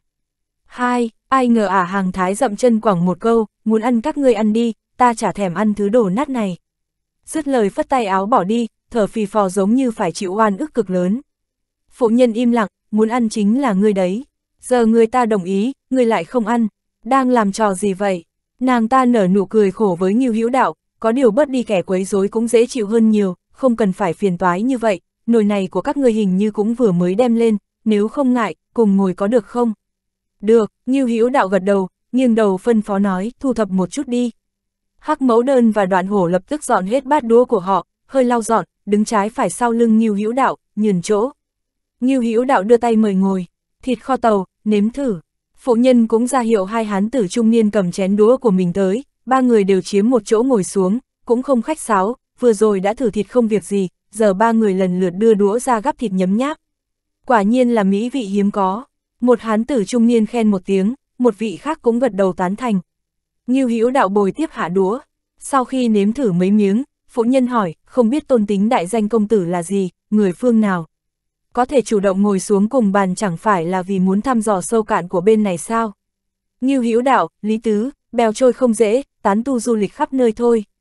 Tán tu, phụ nhân nhìn thủ hạ sau lưng hắn, suy nghĩ một chút số tiền hắn tùy tiện vứt ra ban nãy, cười nói, Lý công tử cũng không giống tán tu bình thường. Như Hữu đạo diếu còn nói, công tử nhà các vị cũng không giống nam nhân bình thường. Phụ nhân than thở nói, tiểu thư bị trong nhà làm hư, không thông thế sự, trong nhà để nàng ấy ra ngoài nhìn chút sự đời, chúng ta bồi tiếp đi cùng. Tiểu thư thích náo nhiệt, không hiểu chuyện, công tử đừng để trong lòng. Như Hữu đạo chính là bởi vì nhận ra nàng là nữ nhân nếu không e hôm nay không được vui vẻ thế này. Ngụ ý là ta không so đo với nữ nhân. Phụ nhân cười cười, hỏi, không biết công tử tu vi gì. Ngưu Hữu đạo ha ha nói, không đáng là gì, chúc cơ kỳ thôi, ba vị thì sao? Ba người nhìn nhau, nhìn trẻ như vậy, tu vi đã đột phá đến chúc cơ kỳ. Càng cảm thấy hắn không đơn giản. Phụ nhân nói, lúc chúng ta bằng tuổi công tử vẫn còn dãy dụa ở luyện khí kỳ, bây giờ coi như cũng đến được kim đan kỳ rồi. Đều là kim đan kỳ, đám hắc mẫu đơn âm thầm kinh hãi, cũng không biết nữ giả nam trang kia rốt cuộc có lai lịch gì, lại có ba kim đan kỳ hầu ở bên người du ngoạn. Mấy người phát hiện đạo gia ban nãy thực sự là đùa với lửa, nếu thật sự chọc ra chuyện, một người của đối phương e cũng đủ thu thập bọn họ. Như Hữu đạo rất bình tĩnh, mỉm cười nói, đều là cao thủ, ngược lại là tại hạ có chút không biết trời cao đất rộng trước mặt các vị. Phụ nhân, chẳng qua vì chúng ta sống lâu hơn công tử rất nhiều tuổi thôi, đợi một thời gian nữa, chắc chắn tu vi của công tử sẽ vượt qua chúng ta. Hy vọng là vậy, chờ một chút, lôi tông khang lại bưng một tô thịt đến, lần đầu ăn loại thức ăn này ba vị đều ăn không ngán. Hai bên cứ trò chuyện như vậy, phụ nhân tự xưng là bùi nương tử, hai hán tử trung niên một người là Lưu Phong Hải, một người là Sài Phi. Còn về ả hàng thái kia, đối phương chỉ tiết lộ họ hạo, nói đến đó là dừng, không muốn nhiều lời nữa. Lần đầu gặp mặt, nhiều hữu đạo cũng không phạm vào kỵ húy truy vấn ngọn nguồn như vậy, đối phương cũng không truy vấn quá nhiều. Vừa gặp mặt đã gây chuyện không vui, ngồi xuống ăn uống một bữa, lúc chia tay mọi người cũng đều vui vẻ. Chào tạm biệt nhau xong, mọi người ai về phòng nấy. Đưa mắt nhìn ba người hắc mẫu đơn rời đi, đám hắc mẫu đơn nhìn như hữu đạo vân đảm khinh phong rời đi, ngẫm lại chuyện quảng tiền lúc đầu, ý vị của nó sâu xa, thực sự nói rõ tranh lệch giữa người với người. Phòng dịch trạm ở đây không giống với những nơi từng thấy, khác biệt lớn nhất là giường đều có hệ thống sưởi ấm bên dưới, ngủ bên trên chắc chắn rất ấm áp dễ chịu. Xem ảnh một phòng thượng đẳng còn có hồ tắm, bên dưới cũng có nhóm lửa để duy trì nhiệt độ nước. Bên ngoài trời đông giá rét, trong phòng ngâm mình trong nước nóng, cũng là một loại hưởng thụ, bên trên vẫn là một bầu rượu, một thanh kiếm. Hắc mẫu đơn gõ cửa bước vào, Nghiêu Hữu đạo ngâm mình trong hồ cũng không để ý, cũng lười che đậy, dọc con đường này cũng đã quen với nữ nhân này rồi. Nhưng điều khiến hắn không quen là bên trên truyền đến tiếng huyên náo, Nghiêu Hữu đạo nghiêng đầu xem xét, chỉ thấy hắc mẫu đơn đang nới lỏng dây lưng, từng kiện quần áo trượt xuống mặt đất, ngay cả áo lót dạng yếm cũng cởi ra trước mặt hắn, cứ thế cởi sạch trước mặt hắn. Nhìn cơ thể uyển chuyển, chỗ cần tròn trịa thì tròn trịa, chỗ cần uyển chuyển thì uyển chuyển, tư thái lồi lõm trước sau hiện ra lung linh, quả nhiên đúng như nàng tự nói. Ngưu Hữu đạo cảnh giác nói, cô làm gì vậy? Hắc mẫu đơn rút cây châm gài tóc trên đầu, hất đầu thả mái tóc dài như thác nước xuống, xinh đẹp vũ mị nhấc chân bước vào hồ nước hắn đang ngâm, ngồi đối diện hắn, ưỡn bộ ngực run rẩy chậm chậm ngồi xuống, da thịt màu lúa mật ngâm trong làn nước ấm áp thì thoải mái nhắm mắt thở dài một hơi, sau khi mở mắt, xem thường nói, hồ nước lớn như vậy, một người ngâm lãng phí quá, tiện thể cho người mở rộng tầm mắt, tiện nghi cho người rồi, người cũng đừng nghĩ nhiều. Gấp hai chân chậm rãi ngồi xếp bằng, chân đụng chạm chân Ngưu Hữu Đạo. Ta nghĩ nhiều, rõ ràng cô đang dụ dỗ ta. Ngưu Hữu Đạo chậm rãi nhếch mép, nhìn chằm chằm bộ ngực không ngâm trong nước của nàng, chế giễu nói ta coi cô là nam nhân được không hả? Hắc mẫu đơn liếc mắt, sớm biết người có bệnh mà. Như Hữu Đạo cười ha ha, uống một hơi cạn sạch, nghịch cái chén trong tay, ánh mắt nhìn chằm chằm cơ thể uyển chuyển của Hắc mẫu đơn dần rơi vào võng. Người đang nghĩ gì vậy? Nghĩ chuyện rất lâu trước kia, người và Đường Nhi đã có quan hệ nam nữ này chưa? Cô là một nữ nhân quan tâm những chuyện này làm gì? Không có, không có, các người không động phòng, chỉ bái đường cho người khác xem thôi. Vậy người đã từng có quan hệ nam nữ với nữ nhân khác chưa? Rất khó nói, có gì mà khó nói, có là có, không là không. Vậy thì có đi, với rất nhiều nữ nhân, có người còn đen hơn cô, còn cả mắt vàng tóc xanh, đủ cả, nhiều đến mức bản thân cũng không đếm hết. Suy, nhiều đến mức không đếm hết, người khoác lác đấy à, tuổi tác của người mà đếm không hết đâu ra. Không có thì nói không có, có ai chê cười người đâu. Tóc vàng mắt xanh mà cũng lôi ra được, làm với yêu quái trong mơ à. Nói cô cũng không tin, ta nói cô biết, cô làm thế này, sau này ta có miệng cũng không thể nói rõ. Phải nói rõ làm gì, đạo ra, người không giống người quan tâm mấy chuyện này. Ta không quan trọng nhưng ta và cô sẽ không có kết quả gì, cô làm hỏng thanh danh mình thế này sau này không định tái giá à? Không lấy chồng, đã bị tổn thương nặng nề một lần, lại phải chịu tuổi thân nữa ta sẽ rất khổ sở, có danh phận kia, bị tuổi thân vẫn phải nhịn. Mấy năm nay trải qua nhiều trắc trở như vậy, không muốn lại phải chịu những tuổi thân trong chuyện này nữa, những chuyện khác có lẽ ta không làm chủ được, nhưng lấy chồng hay không? Bước ra khỏi khổ nạn, chuyện chủ yếu duy nhất ta có thể làm vì sao không sống cao ngạo một chút. Gặp được kẻ thích thì thích, không thích thì quay đầu đi không để ý tới, tốt biết bao. Hình như cũng hơi có lý, hai người cứ vậy ngâm mình trong nước, trò chuyện câu có câu không. Nửa đêm, có thể cảm giác được gió tuyết đã ngừng, yên lặng như tờ. Ngày kế tiếp, ánh nắng tươi sáng, ánh sáng vạn trượng chiếu cánh đồng tuyết minh mông sáng rực rỡ. Vén màn cửa lên, cả nhóm ra khỏi dịch quán, hàn khí ập thẳng vào người. Ngưu Hữu đạo mặc áo choàng nhung màu đen chống kiếm đứng ở bậc thang, dáng người thẳng tắp phóng mắt bên phía. Lôi Tông Khang và Ngưu Hữu đạo đi ra trái phải, đi dẫn ngựa. chương 254, một lời đã định, dịch tốt trong dịch trạm đang xúc từng xẻng tuyết dọn đường. Trên nóc nhà cũng có người đang dọn dẹp tuyết nếu không nhà rất dễ bị sập, tuyết động từng mảng lớn rơi xuống mái hiên. Chó ngoan không cản đường, mấy người hôm qua từ trong dịch quán đi ra, ả hàng thái kia mở miệng nói lời khó nghe. Công tử, bùi nương tử lôi nàng một cái, nhìn thấy Ngưu Hữu đạo nhường đường, đưa tay mời. Hạo cô nương đi thong thả, ả hàng thái lập tức nhe răng trừng mắt, người mù à, ai là cô nương? Ngưu Hữu đạo gật đầu, ta coi cô là nam nhân được chưa hả?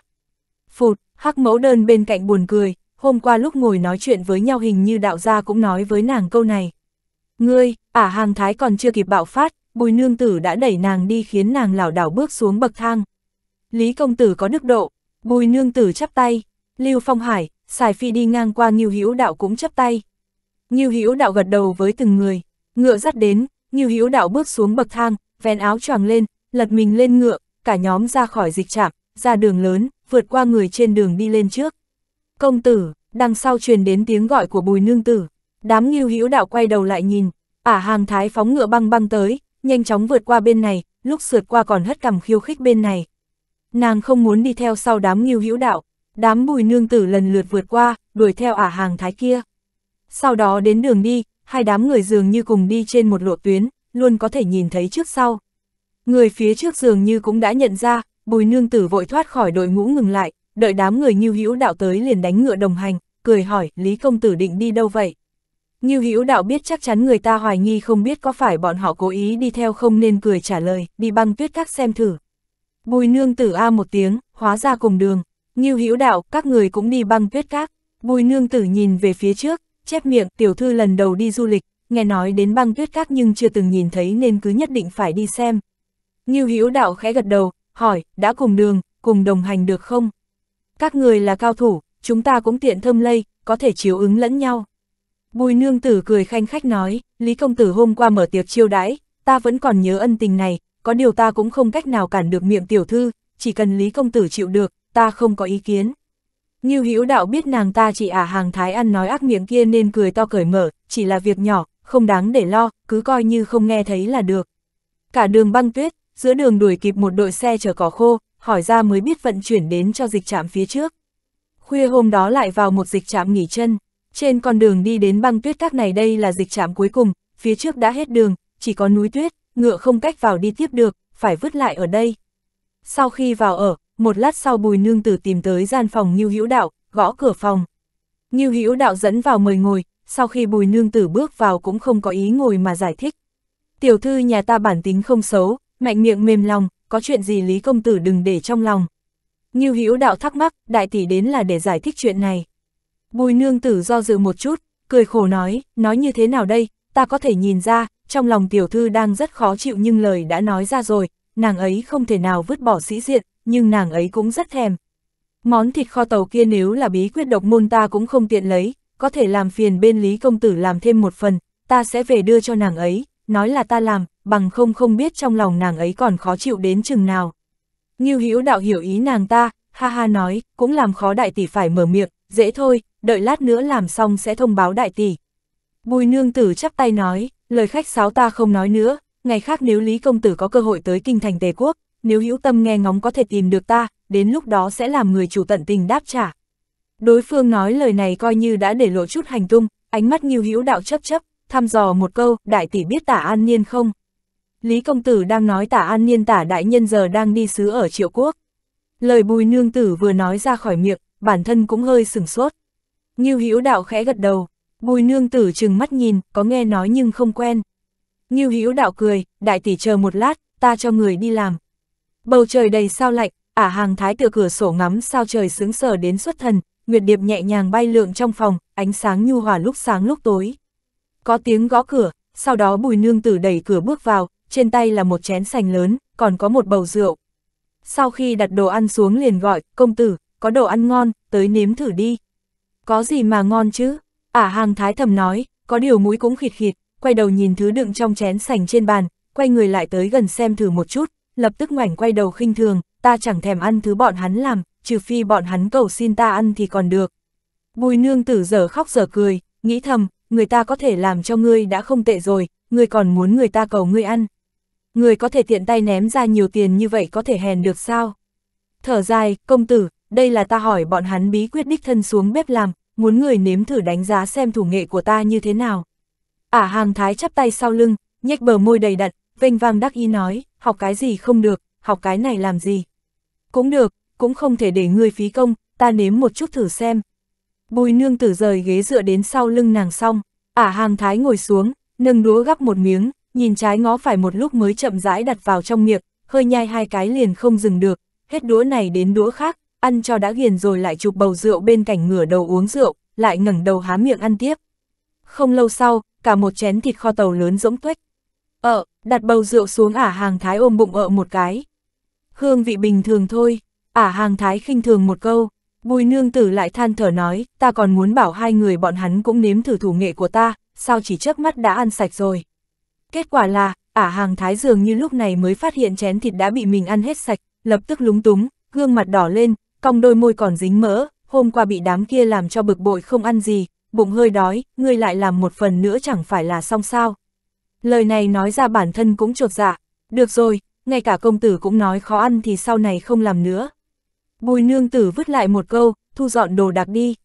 Ờ, ả hàng thái lại ở một tiếng no nê rồi duỗi đầu lưỡi ra liếm liếm môi, sau đó đầu lưỡi linh hoạt lại chu đôi môi căng mọng ra liếm một lần, dáng vẻ hồi tưởng dư vị. Sáng ngày hôm sau, hai đám người đã hẹn cùng ra ngoài, vừa ra khỏi dịch trạm, nhóm bùi nương tử đồng loạt nhìn về phía nhóm nghiêu hữu đạo. Đám nghiêu hữu đạo đã lấy chỗ dịch tốt mũ ra loại chuyên dùng đi trong vùng băng tuyết. Mũi bịt ngang lỗ tai, che kín mắt, chỉ lộ ra đôi mắt và có hai lỗ thở ở mũi. Ả hàng thái bĩu môi xem thường, có điều dường như hôm nay cũng thoải mái hơn một chút nên không nói nhảm trên đường. Hai bên một lần nữa kết bạn cùng rời đi, ngoại trừ dịch chạm lướt qua cánh đồng tuyết, bay đến giữa dãy núi tuyết. Ả hàng thái tu vi khá thấp, Ngưu Hữu đạo đoán chừng mới luyện khí kỳ, trông vô cùng miễn cưỡng nhưng lại không chịu sự giúp đỡ của bùi nương tử nên khiến tốc độ của mọi người đều phụ thuộc vào nàng. Sau một canh giờ, đám người bay lên một đỉnh núi, thấy dưới núi là một con sông đang gào thét. chương 255, người thật thông minh, ở vùng đất lạnh lẽo này dòng sông này không kết băng đã thuộc dạng hiếm lạ, càng ly kỳ là, thuận theo dòng sông đi lên còn có một cái cốc lớn, băng tuyết không nhiễm, bốn phía tuyết minh mông, chỉ có trong cái cốc kia là không hề thấy tuyết động, thấy lờ mờ có bóng người qua lại, trên đỉnh núi tuyết xung quanh thỉnh thoảng thấy bóng người bay lượn. Phía cuối hẻm núi thấy lờ mờ màu xanh um tươi tốt, ốc đảo trong thế giới băng tuyết, một đạo cầu vòng băng ngang trên bầu trời hẻm núi. Bùi nương tử chỉ vào giải thích, công tử, nơi đây chính là băng tuyết các, ốc đảo cuối cùng chính là nơi ở của tuyết lạc nhi các chủ băng tuyết các, nghe nói nơi đó cũng là Quỳnh Lâu Ngọc Vũ cực kỳ hoa mỹ, có điều ta cũng chưa từng nhìn thấy. Ả à, hàng thái hưng phấn nói, rất hoa mỹ sao? Đã tới, đương nhiên phải đi xem mở mang kiến thức, xem thử rốt cuộc hoa mỹ nhường nào. Bùi nương tử trầm mặt, công tử, không thể nói lung tung, chỗ đó không phải ai cũng có thể đi, người cũng không thể làm loạn, xảy ra chuyện cũng không ai cứu được người đâu. Ả à, hàng thái bĩu môi, nàng chỉ nhất thời hưng phấn nói không lựa lời nhưng trong lòng hiểu rõ, chỗ đó là địa bàn của một trong cửu đại trí tôn thiên hạ, nàng trêu chọc không nổi, cho dù là sau thế lực lưng mình cũng trêu chọc không nổi. Ngưu Hữu đạo che mặt một bên lên tiếng nói, nếu công tử thật sự muốn vào xem, ta có thể nghĩ cách. Ả à, hàng thái hất đầu nhìn, khinh bỉ nói, chỉ dựa vào ngươi. Ngưu Hữu đạo cười nói, chỉ bằng thế này, chúng ta đánh cược được không? Cược 100 vạn kim tệ, đương nhiên, nếu trên người ngươi không đủ tiền có thể viết giấy nợ. Bùi nương tử cạn lời, đúng là hết chuyện để nói, vị này của chúng ta vất vả lắm mới hết giận, ngươi lại tới rồi. Ả à, hàng thái cả giận nói, ta mà sợ cái tên che đầu che mặt không dám gặp ai như ngươi sao, được, ta đánh cược với ngươi. Lần này bùi nương tử không cản, Lưu Phong Hải và Sài Phi nhìn nhau, trong mắt đều có tia ngờ vực. Nếu thật sự thua vì cái này, mất 100 vạn kim tệ mà có thể để công tử đi thăm thú Quỳnh Lâu Ngọc Vũ kia một chuyến, trở về cũng không có chuyện gì không bàn giao được. Ngưu Hữu đạo gật đầu, được, một lời đã định. Đám đoạn hổ hai mặt nhìn nhau, tiền mọi người góp hết lại hình như mới được 100 vạn. Trong lòng hắc mẫu đơn thầm nói, không phải đạo gia lại định vẽ tranh đấy chứ. Cược xong, cả nhóm bay lượn xuống núi, đi thẳng đến hẻm núi lớn kia. Bay trên không trung, còn chưa tới hẻm núi, người thấy mùi lưu huỳnh, Ngưu Hữu đạo đã biết nguyên nhân trong hẻm núi không có băng tuyết. Cả người từ trên trời giáng xuống, trực tiếp rơi trước cửa hẻm núi, ấm áp đập vào mặt, hoàn toàn khác với cái rét cam cam của thế giới băng tuyết bên ngoài. Băng tuyết bị tan chảy hình thành một con sông uốn lượn chính giữa hẻm núi, không ít người qua lại trong hẻm núi, cũng có không ít người chú ý đến bọn hắn, hấp dẫn sự chú ý của người khác chính là đám nghiêu hữu đạo đầu đội mũ của dịch tốt che kín diện mạo. Vách núi hai bên hẻm núi giống như từng tầng bậc thang lớn, cửa của từng tòa động thủ đều được khắc thành cạnh cửa hình dáng khác nhau, phải nói là có rất nhiều cửa hàng môn phái, rất rất nhiều. Còn hình thức tồn tại của cửa hàng thì giống như trích tinh thành. Đám bùi nương tử thỉnh thoảng lại nhìn mấy người nghiêu hữu đạo, ở bên ngoài đội mũ chống gió tuyết không nói, đến chỗ này còn chưa gỡ xuống khiến bọn hắn có gì đó phải suy ngẫm. Hai nhóm người không nói đi đâu chỉ cùng đi về một phía, khách sạn Thải Hồng ở cuối hẻm núi, cái tên có lẽ đến từ giải cầu vòng trên bầu trời của hẻm núi kia, nghe nói chỉ cần là ban ngày, cầu vòng kia vĩnh viễn tồn tại. Khách sạn ở cuối hẻm núi giống như bức tường lớn vắt ngang chặn lại, không có bất kỳ mỹ cảm nào, bên trên có một cái mái hình vòm. Mặt dưới khách sạn được đục theo hình cầu vòm cho nước tuyết hòa tan chảy, nước chảy bên trên thực sự có một cầu vòm đi thẳng đến phía trên cửa khách sạn.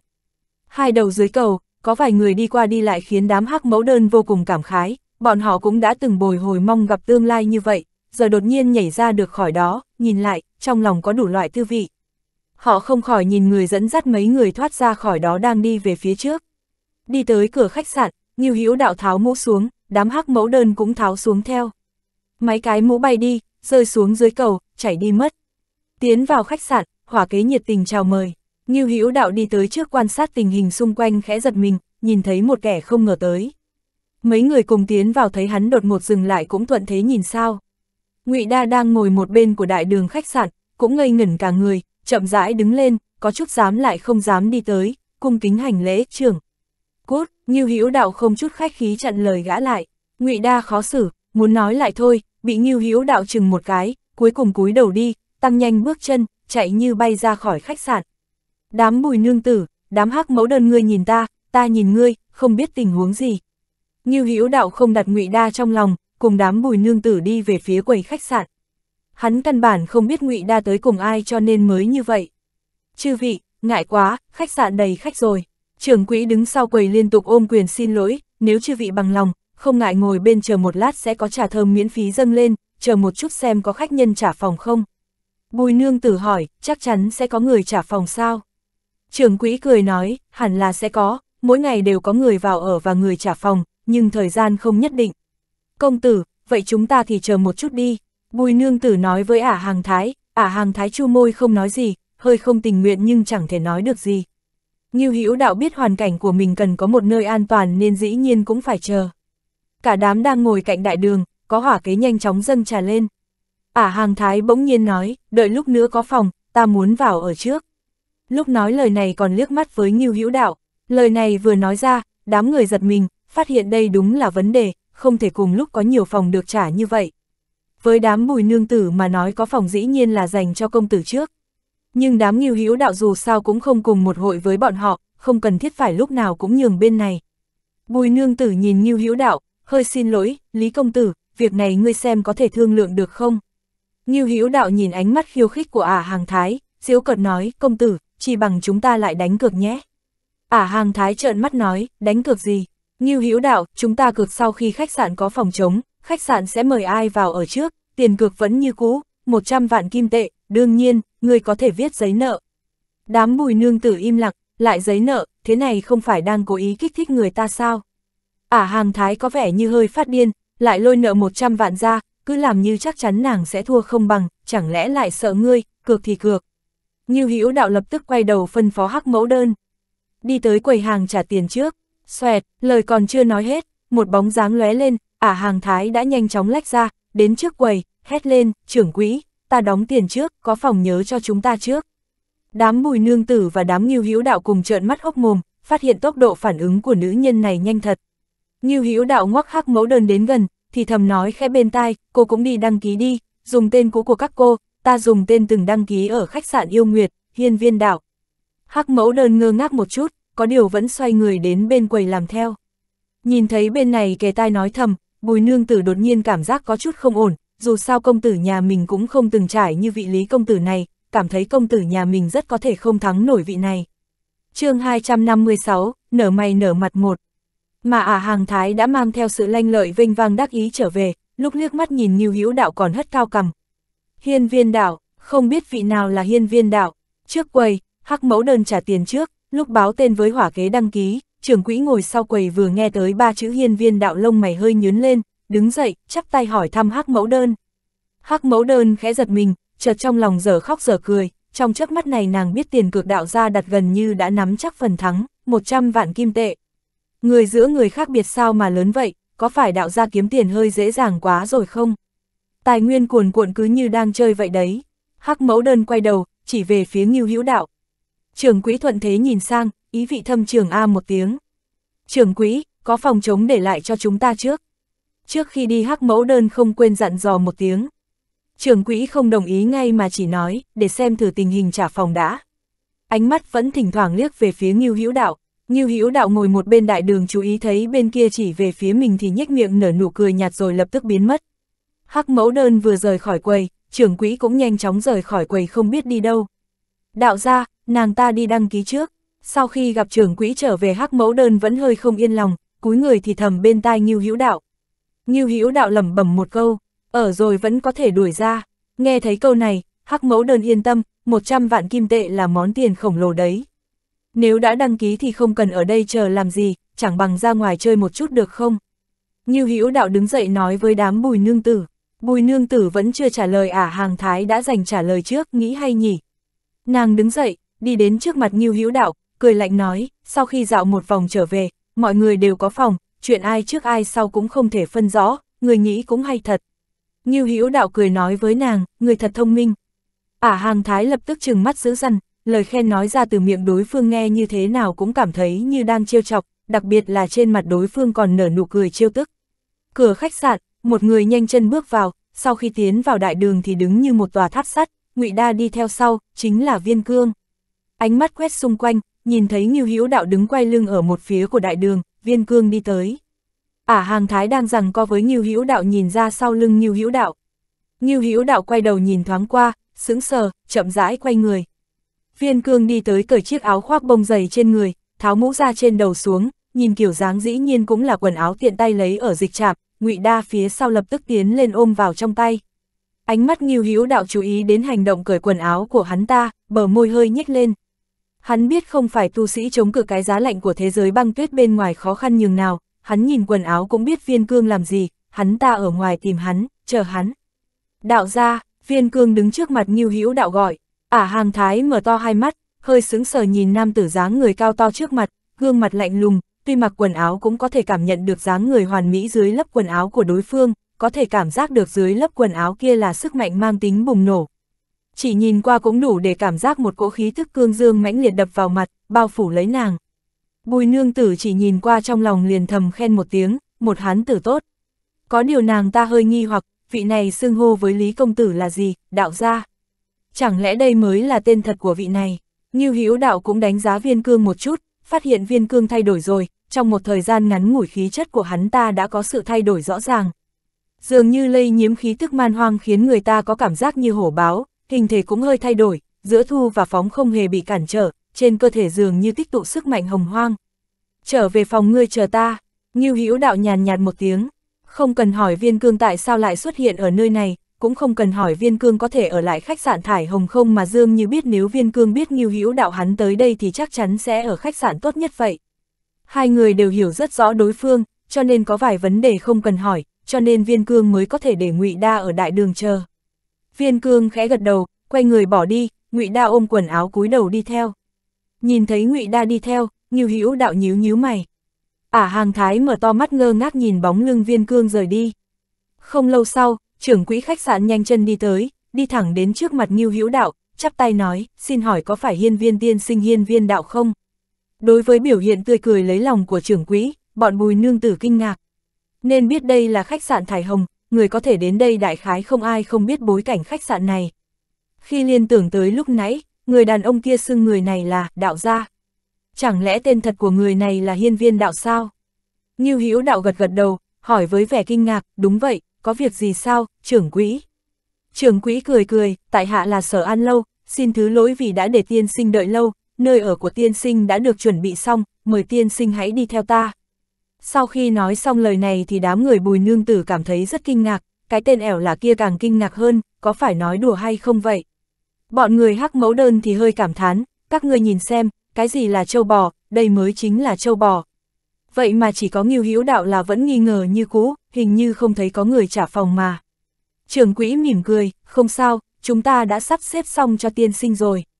Tên ẻo là không chịu đựng được nữa, cả trăm vạn kim tệ nha. Hét lên, trưởng quỹ, người thật sự không nói lý mà, rõ ràng là ta đặt tiền cọc trước mà tại sao lại là hắn tới ở trước. Ba người bùi nương tử bị lời nói của nàng làm sợ hãi, suýt chút nữa thì quỳ, chúng ta có thể trêu vào khách sạn thải hồng này hay sao? Bùi nương tử vội vàng giữ chặt cánh tay của nàng lại, nhéo một cái thực mạnh, tên ẻo là bị đau thì mới phản ứng lại được, khí thế cũng yếu hơn nhiều, môi bĩu ra, giống như là rất tủi thân vậy. Trưởng quỹ liếc qua cái tên ẻo là, rồi lại cười nói với Ngưu Hữu Đạo, đó chính là bạn bè của hiên viên tiên sinh hay sao? Bọn người bùi nương tử cũng chú ý tới phản ứng của trưởng quỹ, cũng có thể nghe ra được ý của trưởng quỹ, nếu là bạn bè thì sẽ có cách xử lý theo kiểu bạn bè, nếu không phải bạn bè thì sẽ có cách xử lý theo kiểu không phải bạn bè, nên đám người bùi nương tử cảm thấy khá là căng thẳng. như Hữu đạo gật đầu, đúng vậy, bọn họ là bạn bè của ta, có vấn đề gì sao? Không có vấn đề gì, không có vấn đề gì. Trưởng quỹ xua tay liên tục, sau đó nói với tên ẻo là, cô nương có điều không biết, hiên viên tiên sinh là quý khách của chúng ta, căn phòng đó cũng không phải là phòng bình thường, sẽ không cho khách hàng bình thường thuê. Thái độ của đối phương làm đám người bùi nương tử thở phào nhẹ nhõm, khi nhìn về phía Ngưu Hữu Đạo thì xuất hiện sự biết ơn, hơn nữa họ lại càng cảm thấy nghi ngờ hơn nữa, Lý công tử, này là ai chứ, lại có thể vào ở phòng khách quý của khách sạn Thải Hồng chứ? Tên ẻo là thì quệt mồm, còn trưởng quỹ dám gọi mình là cô nương, thì nàng cũng không dám nói đối phương cái gì, nàng dám mắng Ngưu Hữu Đạo nhưng lại không dám mắng người trưởng quỹ này cái gì. Khách quý, Ngưu Hữu Đạo có vẻ cũng không tin lắm, chỉ chỉ vào mình ta sao? Ta có phải khách quý gì đâu, trưởng quỹ nhận lầm người phải không? Ngài đúng là khách quý. Trưởng quỹ mỉm cười, gật gật đầu, đưa tay nhường đường, tiên sinh, mời theo ta đi tới phòng của ngài. chương 257, nở mày nở mặt hai. Nếu chỉ có cái tên, hiên viên đạo, kia thì có lẽ là nhận lầm, thế nhưng khi nhìn lại đơn đăng ký phòng của đám người hắc mẫu đơn thì ông ta lại biết không thể nhầm được. Cũng không cần đi tới căn phòng đó vội, nếu ta thật sự là khách quý thì trưởng quỹ à, ta vừa mới tới băng tuyết các còn chưa quen thuộc nơi này, ông có thể dẫn ta đi khắp nơi thăm thú được không? Ngưu Hữu Đạo cũng chỉ dùng cách hỏi thăm để hỏi thử trưởng quỹ. Trưởng quỹ cười cười, cũng hiểu rõ điều gì đó, gật gật đầu, có gì không được chứ, được rồi, để ta đi cùng tiên sinh thăm thú nơi đây. Tiên sinh hãy chờ một lát, đợi ta đi chuẩn bị một lát. Sau khi nói xong thì trưởng quỹ đi tới bên kia, giao cho vài tên tiểu nhị một vài công việc. Sau khi trở lại, ông ta lại đưa tay ra, tỏ vẻ mời Ngưu Hữu Đạo đi trước. Ai ngờ Ngưu Hữu Đạo lại chỉ chỉ vào đám người bùi nương tử rồi hỏi, vậy ông có thể sắp xếp nơi ở cho mấy người bạn này của ta được không? Nếu đã là bạn bè của tiên sinh thì đương nhiên chúng ta không làm tiên sinh khó xử rồi.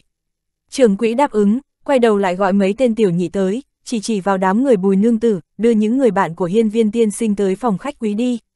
Rồi đám người nghiêu hữu đạo được trưởng quỹ dẫn ra ngoài khách sạn, đi thăm thú các nơi của băng tuyết các. Đám người bùi nương tử thì vẫn kinh ngạc đứng yên tại chỗ, cũng không biết có nên đi theo mấy người tiểu nhị này hay không nữa.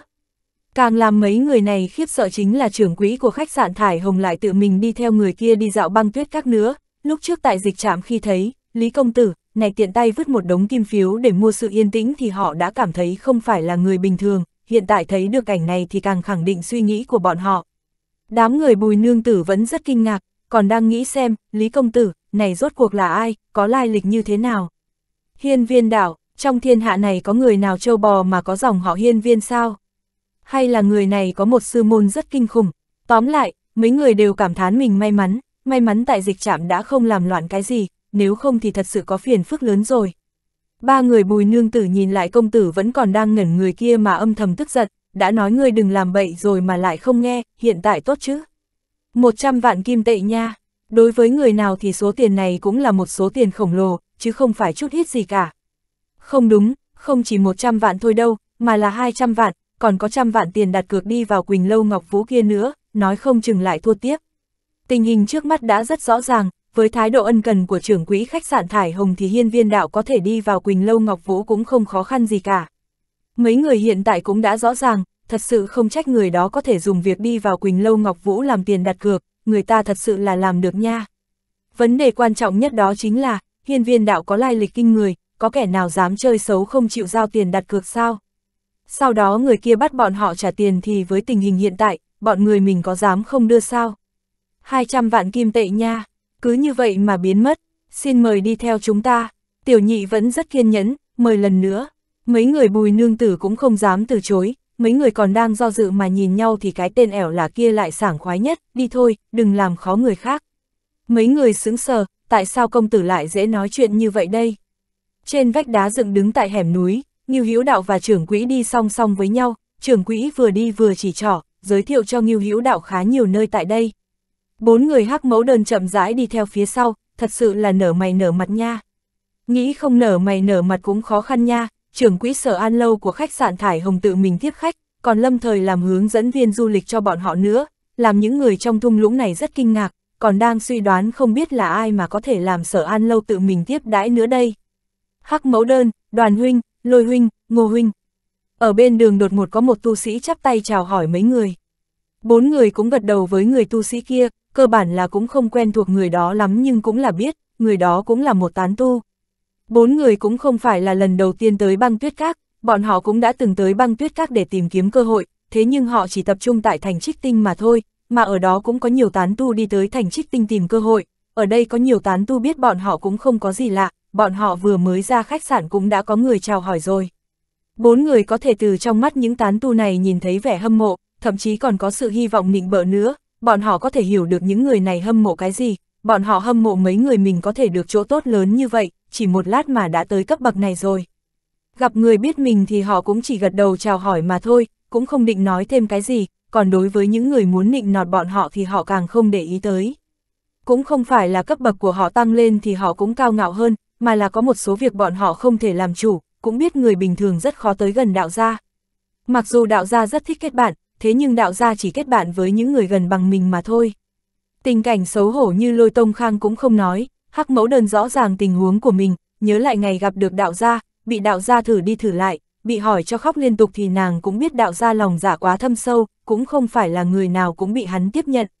Đương nhiên, bốn người bọn họ hiện tại thật sự là có tiền vốn mà cúi đầu quan sát những tán tu kia, không cần nói cái gì khác, chỉ cần tính tới số kim phiếu ở trên người mình cũng có thể làm những tán tu kia hâm mộ tới chảy nước miếng. Người cùng đi với sở an lâu là ai vậy? Khi nhóm người này đi qua đây thì lập tức có người tới hỏi người tán tu kia, ý định hiểu rõ lai lịch của Ngưu Hữu Đạo. Lý trưởng quỹ, ta cũng không biết, không biết, vừa nãy người còn chào hỏi với bọn họ mà.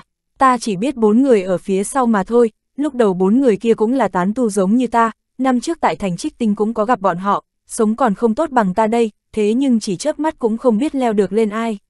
Ai, cùng là người mà số mệnh khác nhau a cũng không may mắn như người ta.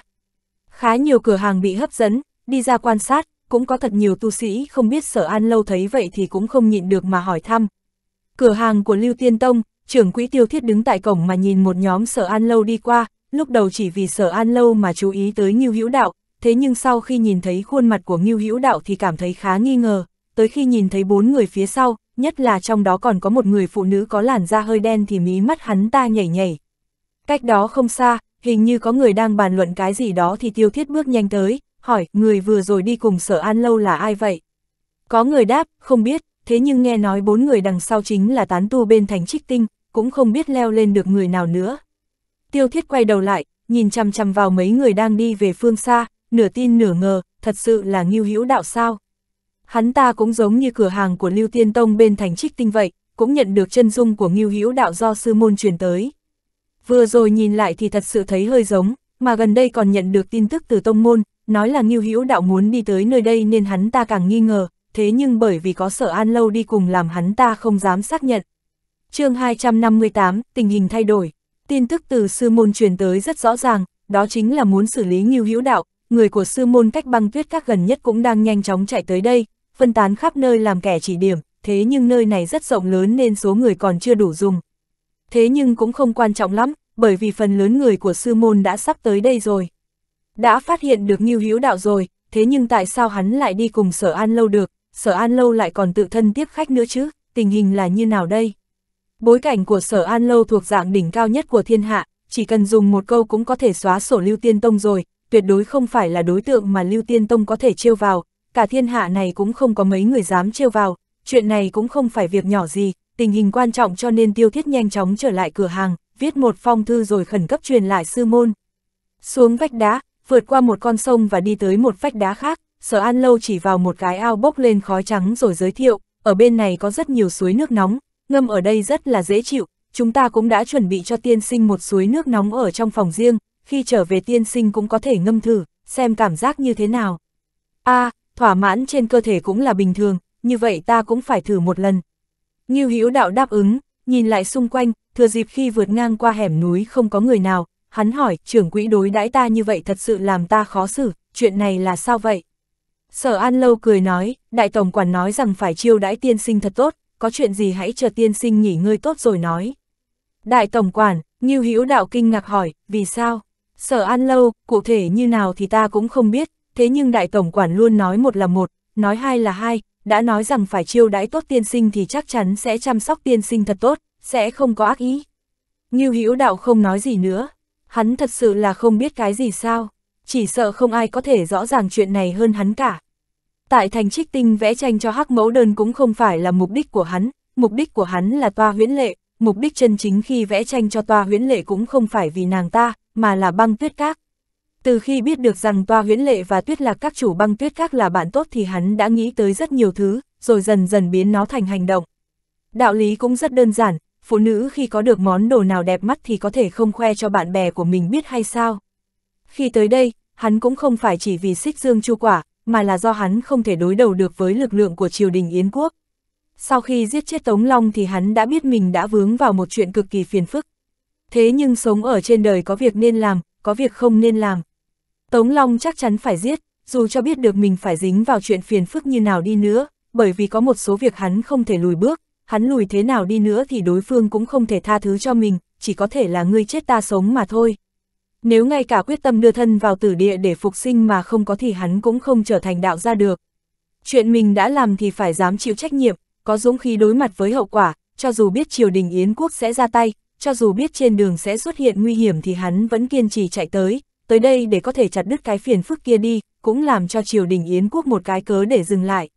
Hắn cũng muốn dùng cơ hội này, uy hiếp toàn bộ những kẻ nào chuẩn bị chế tạo hỗn loạn cho hắn.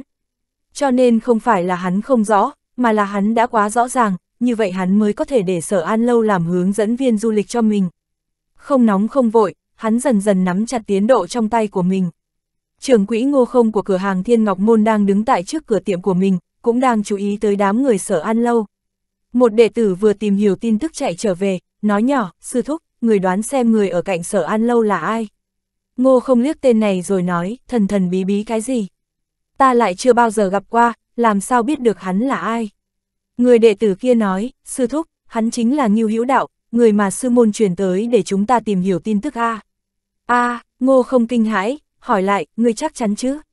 Người đệ tử đáp, ta nghe rõ ràng, đằng sau người đó chính là bốn người hắc mẫu đơn, lôi tông khang, đoạn hổ, ngô tam lưỡng, chính là bốn người mà sư môn nói rằng sẽ đi cùng tên kia sao? Người trẻ tuổi phía trước cũng rất giống với những lời miêu tả của sư môn, trừ nghiêu Hữu đạo ra còn có thể là ai chứ? Người của Thiên Ngọc Môn chưa từng thấy nghiêu Hữu đạo, mà Thương Chiêu Tông tới nhờ Thiên Ngọc Môn hỗ trợ, đương nhiên phải báo lên đặc thù của mục tiêu, Viên Phương cũng không dám giấu giếm, tự nhiên phải nói rõ toàn bộ chi tiết về nhóm người Ngưu Hữu đạo cho họ. Mà người nhận biết Ngưu Hữu đạo của Thiên Ngọc Môn còn ở tận Nam Châu Yến Quốc, muốn chạy tới đây cũng không kịp. Hơn nữa, cao tầng của Thiên Ngọc Môn cũng đã bàn bạc rồi, cũng không có ý định toàn lực mà trợ giúp Ngưu Hữu đạo nên cũng không có người tới trợ giúp khẩn cấp. Ngưu Hữu đạo cũng không có ý nghĩa gì đối với bọn họ, chỉ một cái Ngưu Hữu đạo cũng không đáng để họ sai người tới trợ giúp. Còn về phần xích dương chu quả, đối với Thiên Ngọc Môn mà nói có quan trọng sao? Hải Như Nguyệt chết hay sống, con trai của Hải Như Nguyệt chết hay sống có quan trọng gì không? Càng quan trọng chính là Thiên Ngọc Môn đã liên lạc được với vạn động thiên phủ rồi. Theo cách nhìn của Thiên Ngọc Môn thì vạn động thiên phủ thay người nào quản lý Kim Châu đều như nhau, chỉ cần Thương Chiêu Tông có thể huấn luyện được anh Dương, Vũ Liệt Vệ còn ở trên tay họ là được rồi. Những chuyện mà Hải Như Nguyệt và Thương Chiêu Tông lo lắng đối với cao tầng của Thiên Ngọc Môn mà nói, đó là không có chút vấn đề nào cả. Thiên Ngọc Môn cũng không muốn Thương Chiêu Tông và Hải Như Nguyệt liên kết chặt chẽ gì, nếu hai người hợp tác quá chặt chẽ thì sự khống chế của họ đối với Thương Chiêu Tông sẽ giảm bớt đi nhiều. Cũng bởi vậy, khi Ngưu Hữu Đạo tự tiện chạy đi tìm Xích Dương Chu Quả làm cao tầng Thiên Ngọc Môn rất không thích, tự dưng trêu tới băng tuyết các rất vui sao.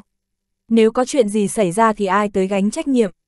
Hơn nữa Ngưu Hữu Đạo lại còn giết chết Yến Sử, hiện tại đã thành tội phạm rồi nên Thiên Ngọc Môn cũng không muốn tham gia, làm sao có thể phái người tiếp viện chứ. Đương nhiên, mặt mũi của Thương Chiêu Tông thì vẫn phải cho, cho nên vẫn truyền tin tức tới nơi này, thế nhưng sự trợ giúp cũng rất nhỏ, chỉ trên danh nghĩa mà thôi. Ngô không đưa tay vuốt tròm dâu của mình mà trầm ngâm, tình hình như thế nào đây?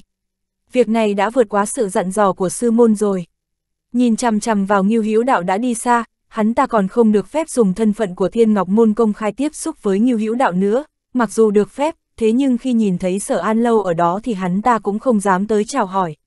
Sau khi suy nghĩ một lát thì hắn ta vội vàng đi vào bên trong tiệm, chuẩn bị viết một phong thư truyền lại sư môn. Cửa hàng của Vạn Động Thiên Phủ, trong một gian phòng tại nơi sâu của cửa hàng có một người phụ nữ ngồi khoanh chân tại trên tháp đá, đó chính là trưởng quỹ của nơi này, Cao Mộc Lan. Tiếng đập cửa vang lên, Cao Mộc Lan chậm rãi thu công, mở mắt ra rồi nói, vào đi. Một đệ tử đẩy cửa ra, đi tới gần và bẩm báo, sư thúc, Ngưu Hữu đạo xuất hiện rồi. Cao Mộc Lan cao mày, lập tức để hắn tới gặp ta. Đối với Thương Chiêu Tông mà nói, tình hình lúc đó rất nguy cấp, để cho an toàn nên hắn ta cũng phát tin tức thông báo cho Hải Như Nguyệt, để Hải Như Nguyệt mời vạn động thiên phủ cũng ra tay hỗ trợ. chương 259, để hắn cút một. Thế nhưng vạn động thiên phủ rất khó chịu với việc này, thật sự thì cao tầng của vạn động thiên phủ có hai luồng ý kiến khác nhau đối với việc Hải Như Nguyệt quản lý Kim Châu, một luồng ý kiến thì vẫn giữ nguyên hiện tại, một luồng ý kiến còn lại thì muốn bỏ cũ thay mới. Hiện tại lại có một tên dám mạo hiểm tại Kim Châu giết chết sứ thần của Yến Quốc, hiện tại lại đi tới băng tuyết các muốn gây thêm phiền phức, vạn động thiên phủ cũng không gánh nổi trách nhiệm này. Hơn nữa, bọn họ còn biết được Hải Như Nguyệt lại còn dám giấu giếm vạn động thiên phủ làm chuyện này làm cho vạn động thiên phủ rất khó chịu, nếu không phải Hải Như Nguyệt được trưởng lão Lê Vô Hoa ủng hộ thì lần này chắc chắn phải cho Hải Như Nguyệt một bài học nhớ đời. Cao Mộc Lan nhận được tin tức từ sư môn đó chính là khi phát hiện ra Ngưu Hữu Đạo thì lập tức ngăn cản hắn làm loạn, nếu xuất hiện tình huống nguy cấp thì có thể giết chết tại chỗ. Chỉ là một tên nghiêu Hữu Đạo mà thôi, đối với vạn động thiên phủ mà nói, rất không quan trọng. Thử nghĩ xem, trong tình hình như này, vạn động thiên phủ làm sao có thể phái người tới giúp đỡ hắn chứ? Điều này, người đệ tử kia có vẻ hơi do dự, trưởng quỹ sở an lâu của khách sạn Thải Hồng đang đi dạo cùng với hắn, nếu hiện tại mà gọi hắn tới thì thật sự là không tiện lắm. Người này còn không biết thái độ của sư môn đối với nghiêu Hữu đạo là cái gì đâu. Cao Mộc Lan kinh ngạc, người nói cái gì? Sở An Lâu đi dạo cùng hắn sao? Đi dạo ở đâu? Đệ tử, vòng quanh thung lũng, ngay phía ngoài của băng tuyết các, hình như Sở An Lâu rất khách khí với hắn nữa. Cao Mộc Lan vội vàng đi xuống tháp đá, đi ra ngoài cửa hàng, gọi đệ tử tới chỉ dẫn cho mình, người đệ tử chỉ vào bóng người phía xa xa. Khi thấy mục tiêu đi tới tầng cao hơn, Cao Mộc Lan lập tức bay lên phía trên, đứng chờ tại ven đường. Cuối cùng cũng đợi được tới khi nhóm người nghiêu hữu đạo đi tới, khi đi qua nơi này chỉ thấy sở an lâu chỉ vào một cửa hàng đang làm nghề điêu khắc mà nói, cửa hàng này cũng vừa mới mở, những môn phái của giới tu hành lên lên xuống xuống rất bất thường, rất nhiều cửa hàng đều thay đổi liên tục. Người đệ tử tới gần người Cao Mộc Lan, nói nhỏ, bốn người phía sau đã xác nhận, chính là Hắc Mẫu Đơn, Đoạn Hổ, Ngô Tam Lưỡng, Lôi Tông Khang. Người trẻ tuổi đi cạnh sở An Lâu cũng rất giống với mô tả, chính là Ngưu Hữu Đạo. Bốn người Hắc Mẫu Đơn, lúc trước chính là bốn tán tu mà không ai thèm để ý, thế nhưng hiện tại chính là đối tượng gây nên rất nhiều người chú ý. Cao Mộc Lan yên lặng, sở An Lâu cũng không phải khách khí với Ngưu Hữu Đạo, đây rõ ràng chính là đang làm hướng dẫn viên du lịch cho Ngưu Hữu Đạo nha. Ngưu Hữu Đạo chính là hung thủ giết chết sứ thần của Yến quốc nha. Đã có thân phận là tội phạm rồi, thế mà Sở An Lâu vẫn công khai dẫn Ngưu Hữu Đạo đi du ngoạn khắp nơi nữa, Sở An Lâu này có ý gì đây? Còn ý của băng tuyết các là sao? Tại sao ta cảm giác là họ đang cố gắng thả ra một tin tức, Ngưu Hữu Đạo chính là bị bọn họ bảo vệ chứ? Tình hình có điều thay đổi nên Cao Mộc Lan không dám tự tiện làm chủ, nàng nhanh chóng bay trở lại cửa hàng của mình, nhanh chóng viết một phong thư khẩn cấp gửi về cho sư môn. Trong phòng không nhuốm bụi trần, mặt đất được lát bằng ngọc trắng noán, phòng tắm có thể tắm suối nước nóng, thư phòng có đầy đủ bút mực giấy nghiên, phòng khách thì tinh xảo trang nhã, trên tường treo đầy tranh chữ, những vật bày biện xung quanh đều rất xuất sắc. Mà gian phòng này cũng là phòng cao nhất của khách sạn, vị trí còn cao hơn nhiều hẻm núi, chỉ cần đẩy cửa sổ ra cũng đã có thể nhìn thấy tình hình trong thung lũng của băng tuyết các, khi trông về phía xa còn có thể thấy được một tuyết thiên sơn. Sau khi xem xét toàn bộ căn phòng một lần thì bùi nương tử rất là cảm khái, nàng cũng không phải là chưa từng ở trong khách sạn Thải Hồng, thế nhưng nàng vẫn không biết trong khách sạn lại có căn phòng có hoàn cảnh tốt như vậy, thật sự không hổ là phòng chiêu đãi khách quý không cho người ngoài thuê, xem ra là đi theo hiên viên đạo mới có thể ở đây một lần. Sau khi tắm và đổi quần áo thì tên ẻo là mới ra ngoài, bùi nương tử nhìn lại thì sướng sờ, nàng ta đổi lại thành nữ trang rồi sao? Công tử, người không đóng giả nam nhân nữa sao? Bùi nương tử hỏi lại một câu, tên ẻo là mặc một bộ váy dài màu hồng, đi tới trước bàn trang điểm rồi ngồi xuống, chu môi ra, người trưởng quỹ kia chỉ liếc mắt cũng đã nhìn ra ta là nữ, không giấu giếm được chút nào cả, không đóng giả nữa, mau mau giúp ta trải đầu. Bùi nương tử im lặng, chẳng lẽ hôm nay người mới biết sao? Nàng đi tới gần bàn trang điểm, cầm lược lên trải đầu giúp cô nàng kia, công tử vẫn là mặc nữ trang xinh đẹp nhất.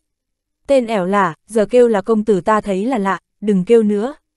Vâng, tiểu thư, bùi nương tử lắc đầu, tên ẻo là chỉ chỉ xung quanh, người xem xem, đây mới gọi là khách sạn chứ, những nơi ở lại trên đường đi đều là nơi rách nát, mặc dù chỗ này hơi nhỏ thế nhưng còn lịch sự và tao nhã hơn cả trong cung nữa. Bùi nương tử, người ta nói nơi này để chiêu đãi khách quý, không phải ai cũng có thể vào ở. Sau khi trang điểm xong, tên ẻo là đứng dậy xoay một vòng, dáng người thướt tha, váy áo bay một vòng rồi lại rơi xuống, sau đó kéo kéo váy mà hỏi thế nào, xinh đẹp không? Bùi nương tử đặt cái lược xuống rồi khen, rất đẹp, tiểu thư xinh đẹp nhất rồi. Tên ẻo là rất hài lòng, đi nào, chúng ta đi tìm tên hiên viên đạo kia đi chơi đi. Nói xong nàng quay người lại đi luôn, tìm hắn chơi, bùi nương tử còn tưởng mình nghe nhầm, rất khó tin nha, nhà đầu này đổi tính rồi sao? Vội vàng kéo nàng ta lại, tiểu thư, tiền đặt cược của người đã thua một trận rồi, 100 vạn kim tệ nha. Khi trở về rất khó ăn nói, ai nha, việc này để ta tới chịu trách nhiệm, người không cần lo lắng, tiền tài chính là vật ngoài thân, nói tới tiền chi cho dung tục. Nói về tiền đó chính là dung tục sao? Bùi nương tử thật sự muốn hỏi nàng ta, người lấy được tiền ra hay sao? Tên ẻo lả này cũng đâu thèm để ý lắm, vội vàng chạy ra ngoài, thế nhưng vừa ra khỏi cửa thì cử chỉ của nàng rất nhãn nhặn, cả người đều như là một thục nữ vậy, chỉ là đôi mắt nhìn loạn khắp nơi đã bán rẻ nàng ta. Tầng trên cùng của khách sạn được ấu tạo là gian phòng hình vòng, ở giữa có một phòng khách tròn rộng, có bàn có ghế dựa, rất đơn giản mà đầy lịch sự, nhẹ nhàng thoải mái. Ở ở chính giữa phòng khách có một cầu thang vịn, nối thông tới tầng dưới. Bùi nương tử cũng đi ra ngoài, hỏi tiểu thư, người muốn đi đâu? Tên ẻo là kia nhìn chung quanh rồi hỏi, cái tên hiên viên đạo kia ở phòng nào vậy? Đã trở về hay chưa? Bùi nương tử, ta không biết, ta vẫn ở cùng người trong một phòng, làm sao biết được hắn đã về hay chưa? Có lẽ là nghe được tiếng nói chuyện nên Lưu Phong Hải và Sài Phi ở gần đó cũng mở cửa ra. Mà đúng lúc này, từ dưới tầng truyền lên tiếng bước chân, một hầu phòng ló đầu lên trước, đằng sau là sở an lâu rồi tới lượt bọn người như hữu đạo cũng dần dần đi lên. Vừa tới nơi đây, bọn người như hữu đạo đương nhiên là phải xem xét hoàn cảnh xung quanh, khi nhìn thấy đám người bùi nương tử ở đó thì hơi sừng sốt, ánh mắt họ đều tập trung vào trên người cô gái mặc bộ váy dài màu hồng. Tóc phấn cao, thân thể thướt tha, eo nhỏ ngực lớn, đôi mắt sáng ngời, khuôn mặt trẻ trung mà xinh đẹp, khi nhìn vào cảm giác rất đẹp mắt, nhất là luồng cảm giác thanh xuân rào rạt kia khác biệt hoàn toàn với khí chất của tiểu thư khuê các. Nếu không phải nàng ta đứng cạnh mấy người bùi nương tử thì Ngưu Hữu Đạo rất có thể là nhìn nhầm. Cái tên ẻo là kia thế mà đổi lại thành nữ trang, vậy mà còn là một mỹ nhân hiếm thấy nữa chứ. Mấy người Ngưu Hữu Đạo kinh ngạc mà nhìn nhau. Chương 260, để hắn cút hai. Sở An Lâu cũng hơi kinh ngạc về sắc đẹp của cô gái kia, thế nhưng cũng không quan tâm lắm, nhìn về phía tên hầu phòng rồi đưa tay mời Ngưu Hữu Đạo, tiên sinh, mời. Ngưu Hữu Đạo lấy lại tinh thần, quay người lại chắp tay nói, trưởng quỹ, thật sự là làm phiền ngài, ngài cứ đi làm việc của mình đi. Sở An Lâu gật đầu, được rồi, ta không quấy giày tiên sinh nữa, tiên sinh đi đường đã rất mệt mỏi rồi, hãy yên tâm nghỉ ngơi ở đây đi, có chuyện gì đều chờ tiên sinh nghỉ ngơi tốt rồi mới nói. Về phương diện ăn uống sinh hoạt, tiên sinh cũng không cần lo lắng, chỉ cần khách sạn này có thì tiên sinh hãy cứ yêu cầu, tất cả đều miễn phí. Có chuyện gì thì sai hầu phòng đi làm, hoặc tìm ta cũng được. Làm phiền ngài, Ngưu Hữu đạo cảm ơn, chắp tay đưa sở an lâu xuống dưới tầng. Sau đó mấy người đi theo hầu phòng vào trong gian phòng của mình, hoàn cảnh của căn phòng vượt quá sự tưởng tượng của mấy người Ngưu Hữu đạo.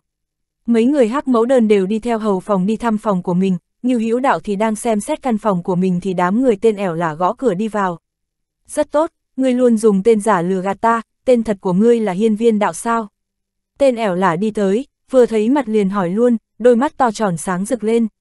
Ngưu Hữu đạo nhìn lên nhìn xuống một lượt, nhịn không được gãi tay, trong chốc lát thật sự không quen cái tên đi thái trở về này thay đổi trang phục mà, mỉm cười nói, ngươi cũng không nói tên thật cho ta mà. Tên ẻo là vỗ vỗ ngực, nói một cách sảng khoái, Hạo Thanh Thanh, ta tên là Hạo Thanh Thanh. Vừa nghe được câu này thì đám người bùi nương tử định nói cái gì đó rồi lại thôi, tại sao lại nói tên thật của mình ra chứ, lúc trước đã dặn dò nàng là không được nói tên thật của mình ra rồi mà. Thế nhưng đã nói ra rồi, không thể ngăn cản được nữa. Hạo Thanh Thanh, Ngưu Hữu Đạo lẩm bẩm một tiếng, rồi lại xăm soi nàng một lượt nữa, vẫn cảm thấy nữ nhân này là lạ nha. Tại sao ta cảm thấy nữ nhân này nhiệt tình hơn nhiều chứ? Thái độ cũng khác biệt hoàn toàn lúc trước, chẳng lẽ sau khi thay đổi trang phục thì tính cách cũng thay đổi, hay là thấy mình quen biết với sở an lâu nên muốn nịnh bợ. Thế nhưng ở trên đường đi, tính cách của cô nàng này cũng không giống là loại muốn nịnh bợ để leo lên trên nha. Như Hữu đạo nghi ngờ mà hỏi, không phải là thua cược nên muốn trốn nợ chứ? a à, Hạo Thanh Thanh rất là khinh thường, coi ta là ai chứ, ta mà phải quyệt nợ sao? Có chơi thì có chịu, ta nhận, để ta trả cho ngươi luôn. Rồi nàng nhấc váy lên chạy chậm vào trong thư phòng, Ngưu Hữu đạo ngạc nhiên, quay đầu lại, nhìn chằm chằm vào nàng ta. Mấy người cũng đi theo nàng vào trong thư phòng, chỉ thấy Hạo Thanh Thanh còn đang mài mực, sau đó giật ra một trang giấy, nhanh chóng viết một trang giấy nợ, sau khi thổi khô nét mực thì đi tới trước mặt Ngưu Hữu Đạo, đưa cho Ngưu Hữu Đạo tờ giấy rồi cười tủm tỉm, "Cho." Chữ cũng rất đẹp, thế nhưng khi nhìn vào phiếu nợ này thì Ngưu Hữu Đạo càng nghi ngờ hơn, 200 vạn sao? Ngươi mới thua một trận, tại sao lại thành 200 vạn rồi? Hạo Thanh Thanh lại rất sảng khoái mà phất tay, ta thấy quan hệ giữa ngươi và khách sạn Thải Hồng rất tốt, nên ta đoán trận tiếp theo ta cũng sẽ thua mà thôi, cho nên ta viết luôn một thể, đỡ phải viết lại lần nữa. Ngưu Hữu Đạo yên lặng, lại nhìn lại vào phiếu nợ xem có vấn đề gì hay không, phải cẩn thận nếu không bị cô nàng này lừa thì sẽ trở thành trò cười mất. Bùi nương tử bước nhanh tới cạnh người Ngưu Hữu Đạo, khi thấy trên giấy nợ có tên thật và họ thật, không có chút giả nào thì sắc mặt trở nên đen kịt, hai mắt xuất hiện lửa giận mà nhìn chằm chằm vào Hạo Thanh Thanh. Tuy nói là phần lớn tiền tài trong thiên hạ đều tập trung trong tay tu sĩ, thế nhưng đồ vật mà họ cần mua bán cũng có giá trị rất cao, một cây linh thảo không thể có giá bằng một cây cải trắng được, cho nên số lớn tiền tài của tu sĩ xoay vòng cũng rất nhanh, mà số tiền tiêu phí duy trì cuộc sống hàng ngày của tu sĩ thì thật sự là không tốn bao nhiêu cả. Ví dụ như, một kim tệ, có thể để một gia đình bình thường ăn uống trong vòng nửa năm. 200 vạn kim tệ bằng cả năm thuế của cả một cái châu phủ rồi, hơn nữa cái châu phủ này còn phải là một châu phủ giàu có nữa. Mà đối với tu sĩ, không tính tới thời gian và một số nhân tố khác thì 200 vạn kim tệ có thể mua được tài nguyên tạo ra được khoảng 10 tu sĩ kim đan kỳ. Cho nên số lượng kim tệ này là rất khổng lồ, thế nhưng vị tiểu thư này lại xem nó như trò đùa vậy, làm sao để người ta không thấy tức giận cơ chứ? Đó cũng là vì sao khi ở dịch trạm, nhiều Hữu Đạo tiện tay ném ra một đống kim phiếu cũng có thể uy hiếp bọn họ. Ngưu Hữu Đạo nghiêng đầu, nhìn sắc mặt Bùi Nương Tử, rồi tiện tay đưa giấy nợ cho nàng, ta đâu biết được cái phiếu nợ này có thể đổi được thành tiền hay không, mà đánh cược vẫn còn chưa kết thúc, chuyện này hãy để sau nói tiếp đi. Hạo Thanh Thanh vội vàng nói, ta làm sao có thể lừa gạt chứ, người cứ tới kinh đô của Tề Quốc. Câm miệng, còn dám làm loạn thì ta sẽ lập tức đưa người trở về. Bùi nương tử quát lên ngắt lời cô nàng, rồi đưa tay lấy lại phiếu nợ. Hạo Thanh Thanh chu miệng, thấy mình không nghe lời thì bị đưa trở về thì nàng không dám nói tiếp nữa. Lúc này, Hắc mẫu đơn lại đi tới, thấy tất cả mọi người đều ở trong thư phòng thì nàng lại không biết phải làm gì cả. Như Hữu đạo ra khỏi thư phòng, nói với nàng, người hãy đi tìm cái người đã gặp lúc ở đại sảnh đi. Ý hắn là chỉ viên cương, hắc mẫu đơn, cũng không biết hắn ta có để lại tên họ thật hay không nữa. Như Hữu đạo hiểu ý của nàng, muốn tới hỏi tiếp tân về số phòng của viên cương liền lắc đầu, không cần phiền phức như vậy, hắn ta sẽ làm cho ngươi gặp hắn ta, ngươi cứ đi một vòng quanh khách sạn là có thể tìm thấy hắn ta. Được rồi, hắc mẫu đơn đồng ý, sau đó quay người đi luôn. Nghiêu Hữu đạo quay người lại hỏi ý đám người bùi nương tử, xem bọn họ còn có việc gì nữa không. Một nhóm người này chào hỏi rồi rời khỏi. Vừa đi ra bên ngoài, Hạo Thanh Thanh lập tức tìm lấy một chiếc ghế rồi ngồi xuống, có vẻ như khá tức giận, a hát hát hát, tức chết mất, hãy để ta một mình ở đây. Một người ở lại nhìn nàng, đừng để nàng đi loạn. Bùi nương tử vẫn rất tức giận, sau khi nói một câu liền trở về phòng của mình, nàng ta ở cùng một phòng với Hạo Thanh Thanh. Lưu Phong Hải cũng trở về phòng mình, chỉ để lại xài phi ngồi trên một cái ghế cách đó không xa, nhìn chằm chằm vào Hạo Thanh Thanh. Sau một nén nhang, lại có người đi lên tầng, đó chính là Hắc Mẫu Đơn trở về, Viên Cương và Ngụy Đa cũng lần lượt đi lên trên. Hạo Thanh Thanh vội vàng đứng dậy, bước nhanh tới, gật đầu với Hắc Mẫu Đơn, rồi lại cười rất sán lạn với Viên Cương, trước đó, chúng ta ở tại đại sảnh đã gặp nhau rồi. Viên Cương khá lạnh lùng, chỉ liếc qua một chút, cũng không nói cái gì, cũng không để ý tới nàng ta, bước chân vẫn cứ không dừng lại chút nào. Hạo Thanh Thanh thấy Viên Cương không để ý tới mình mà đi vào trong phòng của Ngưu Hữu Đạo thì vểnh miệng lên, hừ lạnh một tiếng, thế nhưng lại không rời đi, mà là đi tới trước cửa phòng của Ngưu Hữu Đạo đi đi lại lại. Sài Phi vẫn luôn nhìn chằm chằm tới đây cũng không biết tiểu thư đang làm cái gì nữa. Ở trong phòng, Ngưu Hữu Đạo đứng trước cửa sổ, nhìn ra ngoài, Hắc Mẫu Đơn đang định báo cáo thì Viên Cương đã nói trước rồi, không có việc gì chứ. Ngưu Hữu Đạo lắc đầu, nhìn chằm chằm vào núi tuyết nơi xa, thở dài, ngươi không nên tới. Viên Cương không nói gì, Ngưu Hữu Đạo quay đầu lại, ánh mắt lướt qua Viên Cương, rơi vào trên người Ngụy Đa, nhướng mày lên, bảo hắn cút. Viên Cương nghiêng đầu, nói với Ngụy Đa, người đi ra ngoài một lát đi. Ngụy Đa cúi đầu đi ra ngoài. Chương 261, ta chưa từng kết bạn. Hắc Mẫu Đơn còn đang suy nghĩ, không biết người này có quan hệ gì với đạo gia nữa, ai ngờ ánh mắt của Viên Cương lại nhìn về phía nàng, ra lệnh, ngươi cũng ra ngoài đi.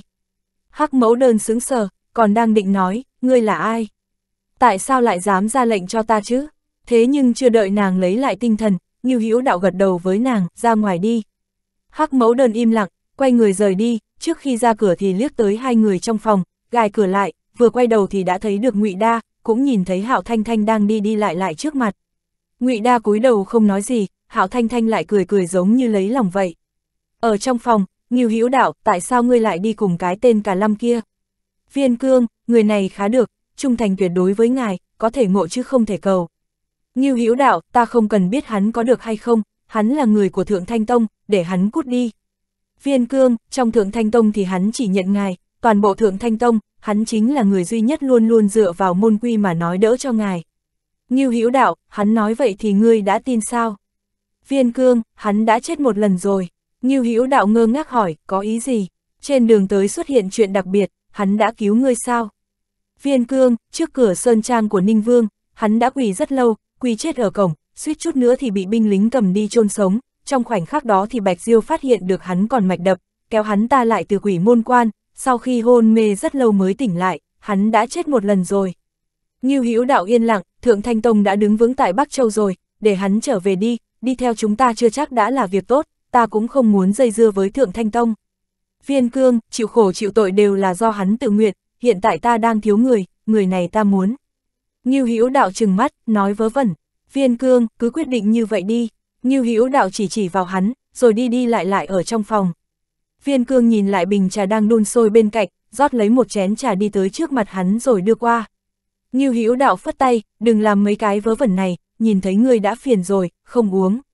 Không uống thì không uống thôi, viên cương cũng không miễn cưỡng, thả lại chén trà lên bàn, nhìn hoàn cảnh xung quanh rồi nói, điều kiện nơi ở tốt hơn nhiều chỗ của ta, nơi này còn phòng trống không?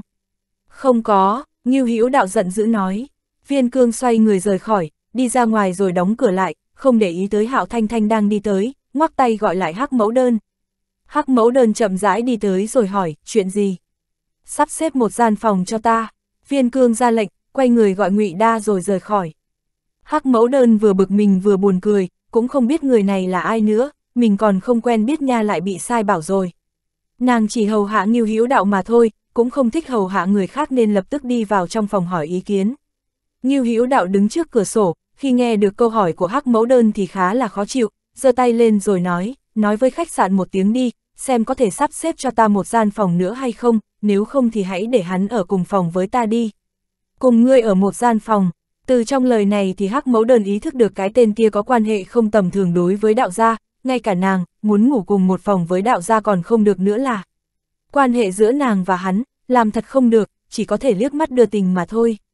Ở bên ngoài, Viên Cương và Ngụy Đa đang định xuống dưới thì Hạo Thanh Thanh lại xông ra, ngăn tại bậc thang thông xuống dưới lầu, làm cho Viên Cương không thể không ngừng lại. Hạo Thanh Thanh cười tươi, nói ta tên là Hạo Thanh Thanh, là bạn bè với đạo gia, xin hỏi huynh tên là gì? Tránh ra, Viên Cương nói bằng giọng lạnh như băng, Hạo Thanh Thanh, về sau mọi người đều là bạn bè, làm quen một chút đi. Còn chưa đợi nàng nói xong, Viên Cương đưa tay đẩy nàng sang một bên rồi đi xuống dưới, Ngụy Đa cũng đi theo sau. Sài Phi vội vàng lao tới, tiểu thư, người không sao chứ? Hạo Thanh Thanh nhìn lại bóng người đang đi xuống mà khoát tay, không có gì. Sài Phi tiểu thư, chúng ta còn không rõ lai lịch của Ngưu Hữu Đạo là gì, tốt nhất là đừng nên trêu vào vẫn hơn.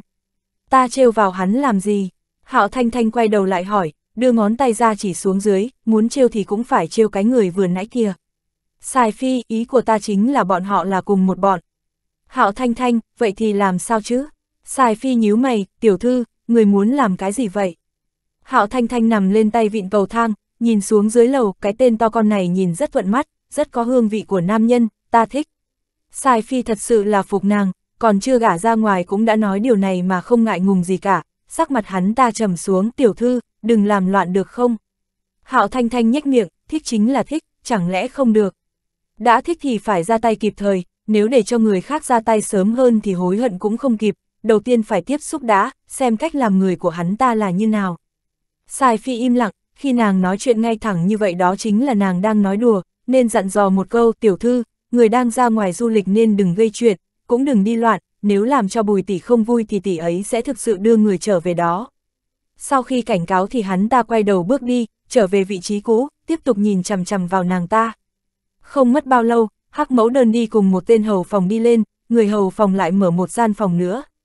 Trên tầng này có tổng là 9 gian phòng, tạm thời cũng không còn người nào vào ở, đám người bùi nương tử chiếm hai phòng, đám người nghiêu hữu đạo thì chiếm 4 phòng, còn có vài phòng trống nên xin cho viên cương một phòng trống cũng không phải là vấn đề gì.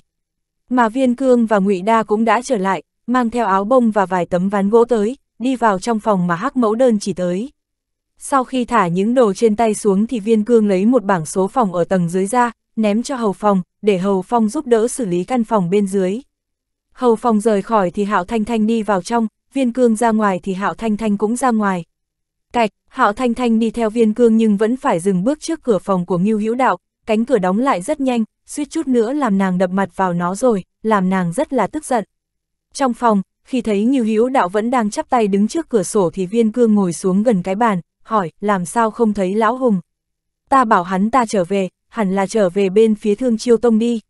Ngưu Hữu Đạo xoay người, ngồi đối diện với viên cương, cầm lên ly trà lúc trước rồi uống một cách từ từ. Viên cương, cô gái mặc áo trắng ở bên ngoài có điều gì đó là lạ. Ngưu Hữu Đạo chậm rãi dựa vào ghế, thế nào, người biết được vấn đề gì rồi sao? Viên cương, rất dài dòng, dài dòng, Ngưu Hữu Đạo sửng sốt, nói không dễ nghe thì có, còn có nói dài dòng nữa sao? Viên cương, lai lịch như nào? Có vẻ là có lai lịch khá lớn. Ngưu Hữu Đạo cũng không định giấu giếm cái gì, nói đại khái những chuyện đã xảy ra từ dịch trạm tới tận hiện tại. Viên Cương có vẻ là hoàng thất của Tề quốc, Ngưu Hữu Đạo còn không phải là người bình thường của hoàng thất, rất có thể là một công chúa. Viên Cương, nữ nhân bên cạnh ngài, có thể tin sao? Tán tu, quen biết tại thành Trích Tinh, Ngưu Hữu Đạo nói đơn giản về việc quen biết đám người hắc mẫu đơn, cũng thuận miệng nói vài việc đã xảy ra trên đường, Viên Cương cũng đã tới thì có vài việc vẫn phải nói cho Viên Cương biết, cũng để cho Viên Cương đề phòng nguy hiểm có thể xảy ra, vài kế hoạch của hắn cũng có thể nói ra. Giữa hai người không có bí mật nào cả. Sau khi nghe xong thì Viên Cương trầm tư, như Hữu Đạo nhấp trà, rồi hỏi, Hải Như Nguyệt thả ngươi đi sao? Viên Cương, ta làm một ít thuốc nổ, nổ lưu phương quán, rồi thừa dịp loạn mà thoát thân. chương 262, Đại nghịch bất đạo 1. Nổ lưu phương quán sao? Gương mặt như Hữu Đạo giật giật, im lặng, có thể nổ tung lưu phương quán thì chắc chắn là lượng thuốc nổ không phải là ít, cũng không biết viên cương làm bao nhiêu nữa, hắn rất khó tưởng tượng được thành Kim Châu sẽ rung động như nào. Xem ra, người phía sau của khách sạn này sẽ tìm tới ngài vào ngày mai. Sau khi hiểu rõ chuyện này, cũng biết chuyện mình lo lắng thì đạo gia đã có biện pháp giải quyết nên sự nghiêm túc trong mắt viên cương tản đi. Cũng chỉ cần một, hai ngày mà thôi, như Hữu đạo gật đầu. Sau khi hai người nói chuyện một lúc nữa, viên cương đi ra ngoài, thế nhưng lại bị Hạo Thanh Thanh ngăn lại. Hắc mẫu đơn khá ngạc nhiên khi thấy cảnh tượng này. Sài Phi lập tức đứng dậy, đi tới bên cạnh Hạo Thanh Thanh, bởi vì hành động lúc trước của viên cương hơi thô lỗ, đẩy thẳng Hạo Thanh Thanh sang một bên nên Sài Phi khá lo lắng viên cương sẽ ra tay với Hạo Thanh Thanh. Một nam một nữ đối mặt nhìn nhau, nam có thân hình cao lớn, nữ phải ngẩng đầu lên mới có thể nhìn vào mặt nam được. Viên cương cúi đầu xuống nhìn nàng, sắc mặt không thay đổi, rất là lạnh lùng. Hạo Thanh Thanh ngẩng đầu nhìn hắn ta, không yếu thế chút nào, cái cằm dơ cao cao, đối mặt nhìn nhau, không né tránh. Viên cương hỏi, ngươi muốn làm gì? Thấy hắn ta cũng chịu nói chuyện với mình thì Hạo Thanh Thanh cười cười, chắp tay, không có gì, ta chỉ muốn kết bạn. Viên cương khá bình tĩnh nói, ta chưa từng kết bạn. Điều này cũng không phải là nói dối, đối với hắn ta, bạn chính là vật phẩm trang sức, cũng rất dối trá, hắn ta không cần đồ trang sức, cũng không cần loại dối trá kia.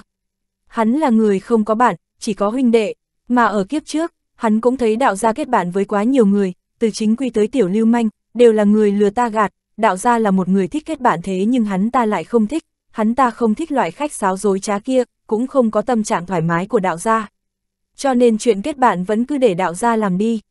a à, Hạo Thanh Thanh rất không tin, người, làm sao có thể không có bạn bè được.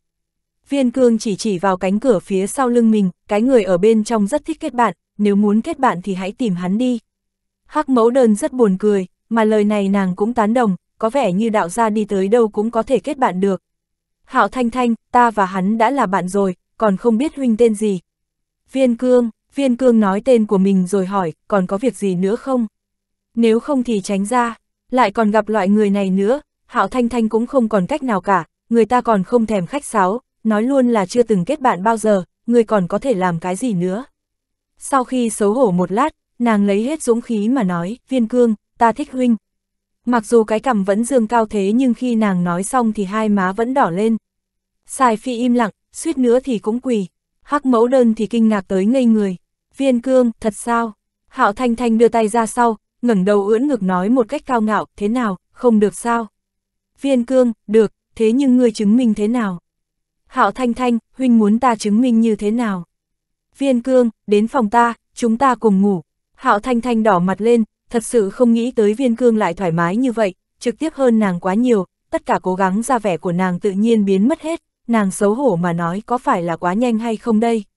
Chúng ta còn chưa quen thuộc lắm, còn chưa nói xong đã bị Sài Phi kéo ra sau lưng, Sài Phi nhìn chằm chằm vào viên cương mà nổi giận, làm càn. Sau tiếng quát này thì những người trong tầng này đều đi ra ngoài. Chuyện gì xảy ra vậy? Ngưu Hữu Đạo đi ra ngoài rồi hỏi. Không có gì, viên cương đáp, rồi không nhìn những người khác nữa, bước đi khỏi nơi đây, đi tới trước cửa phòng mình rồi đẩy cả ngụy Đa vào trong phòng của họ.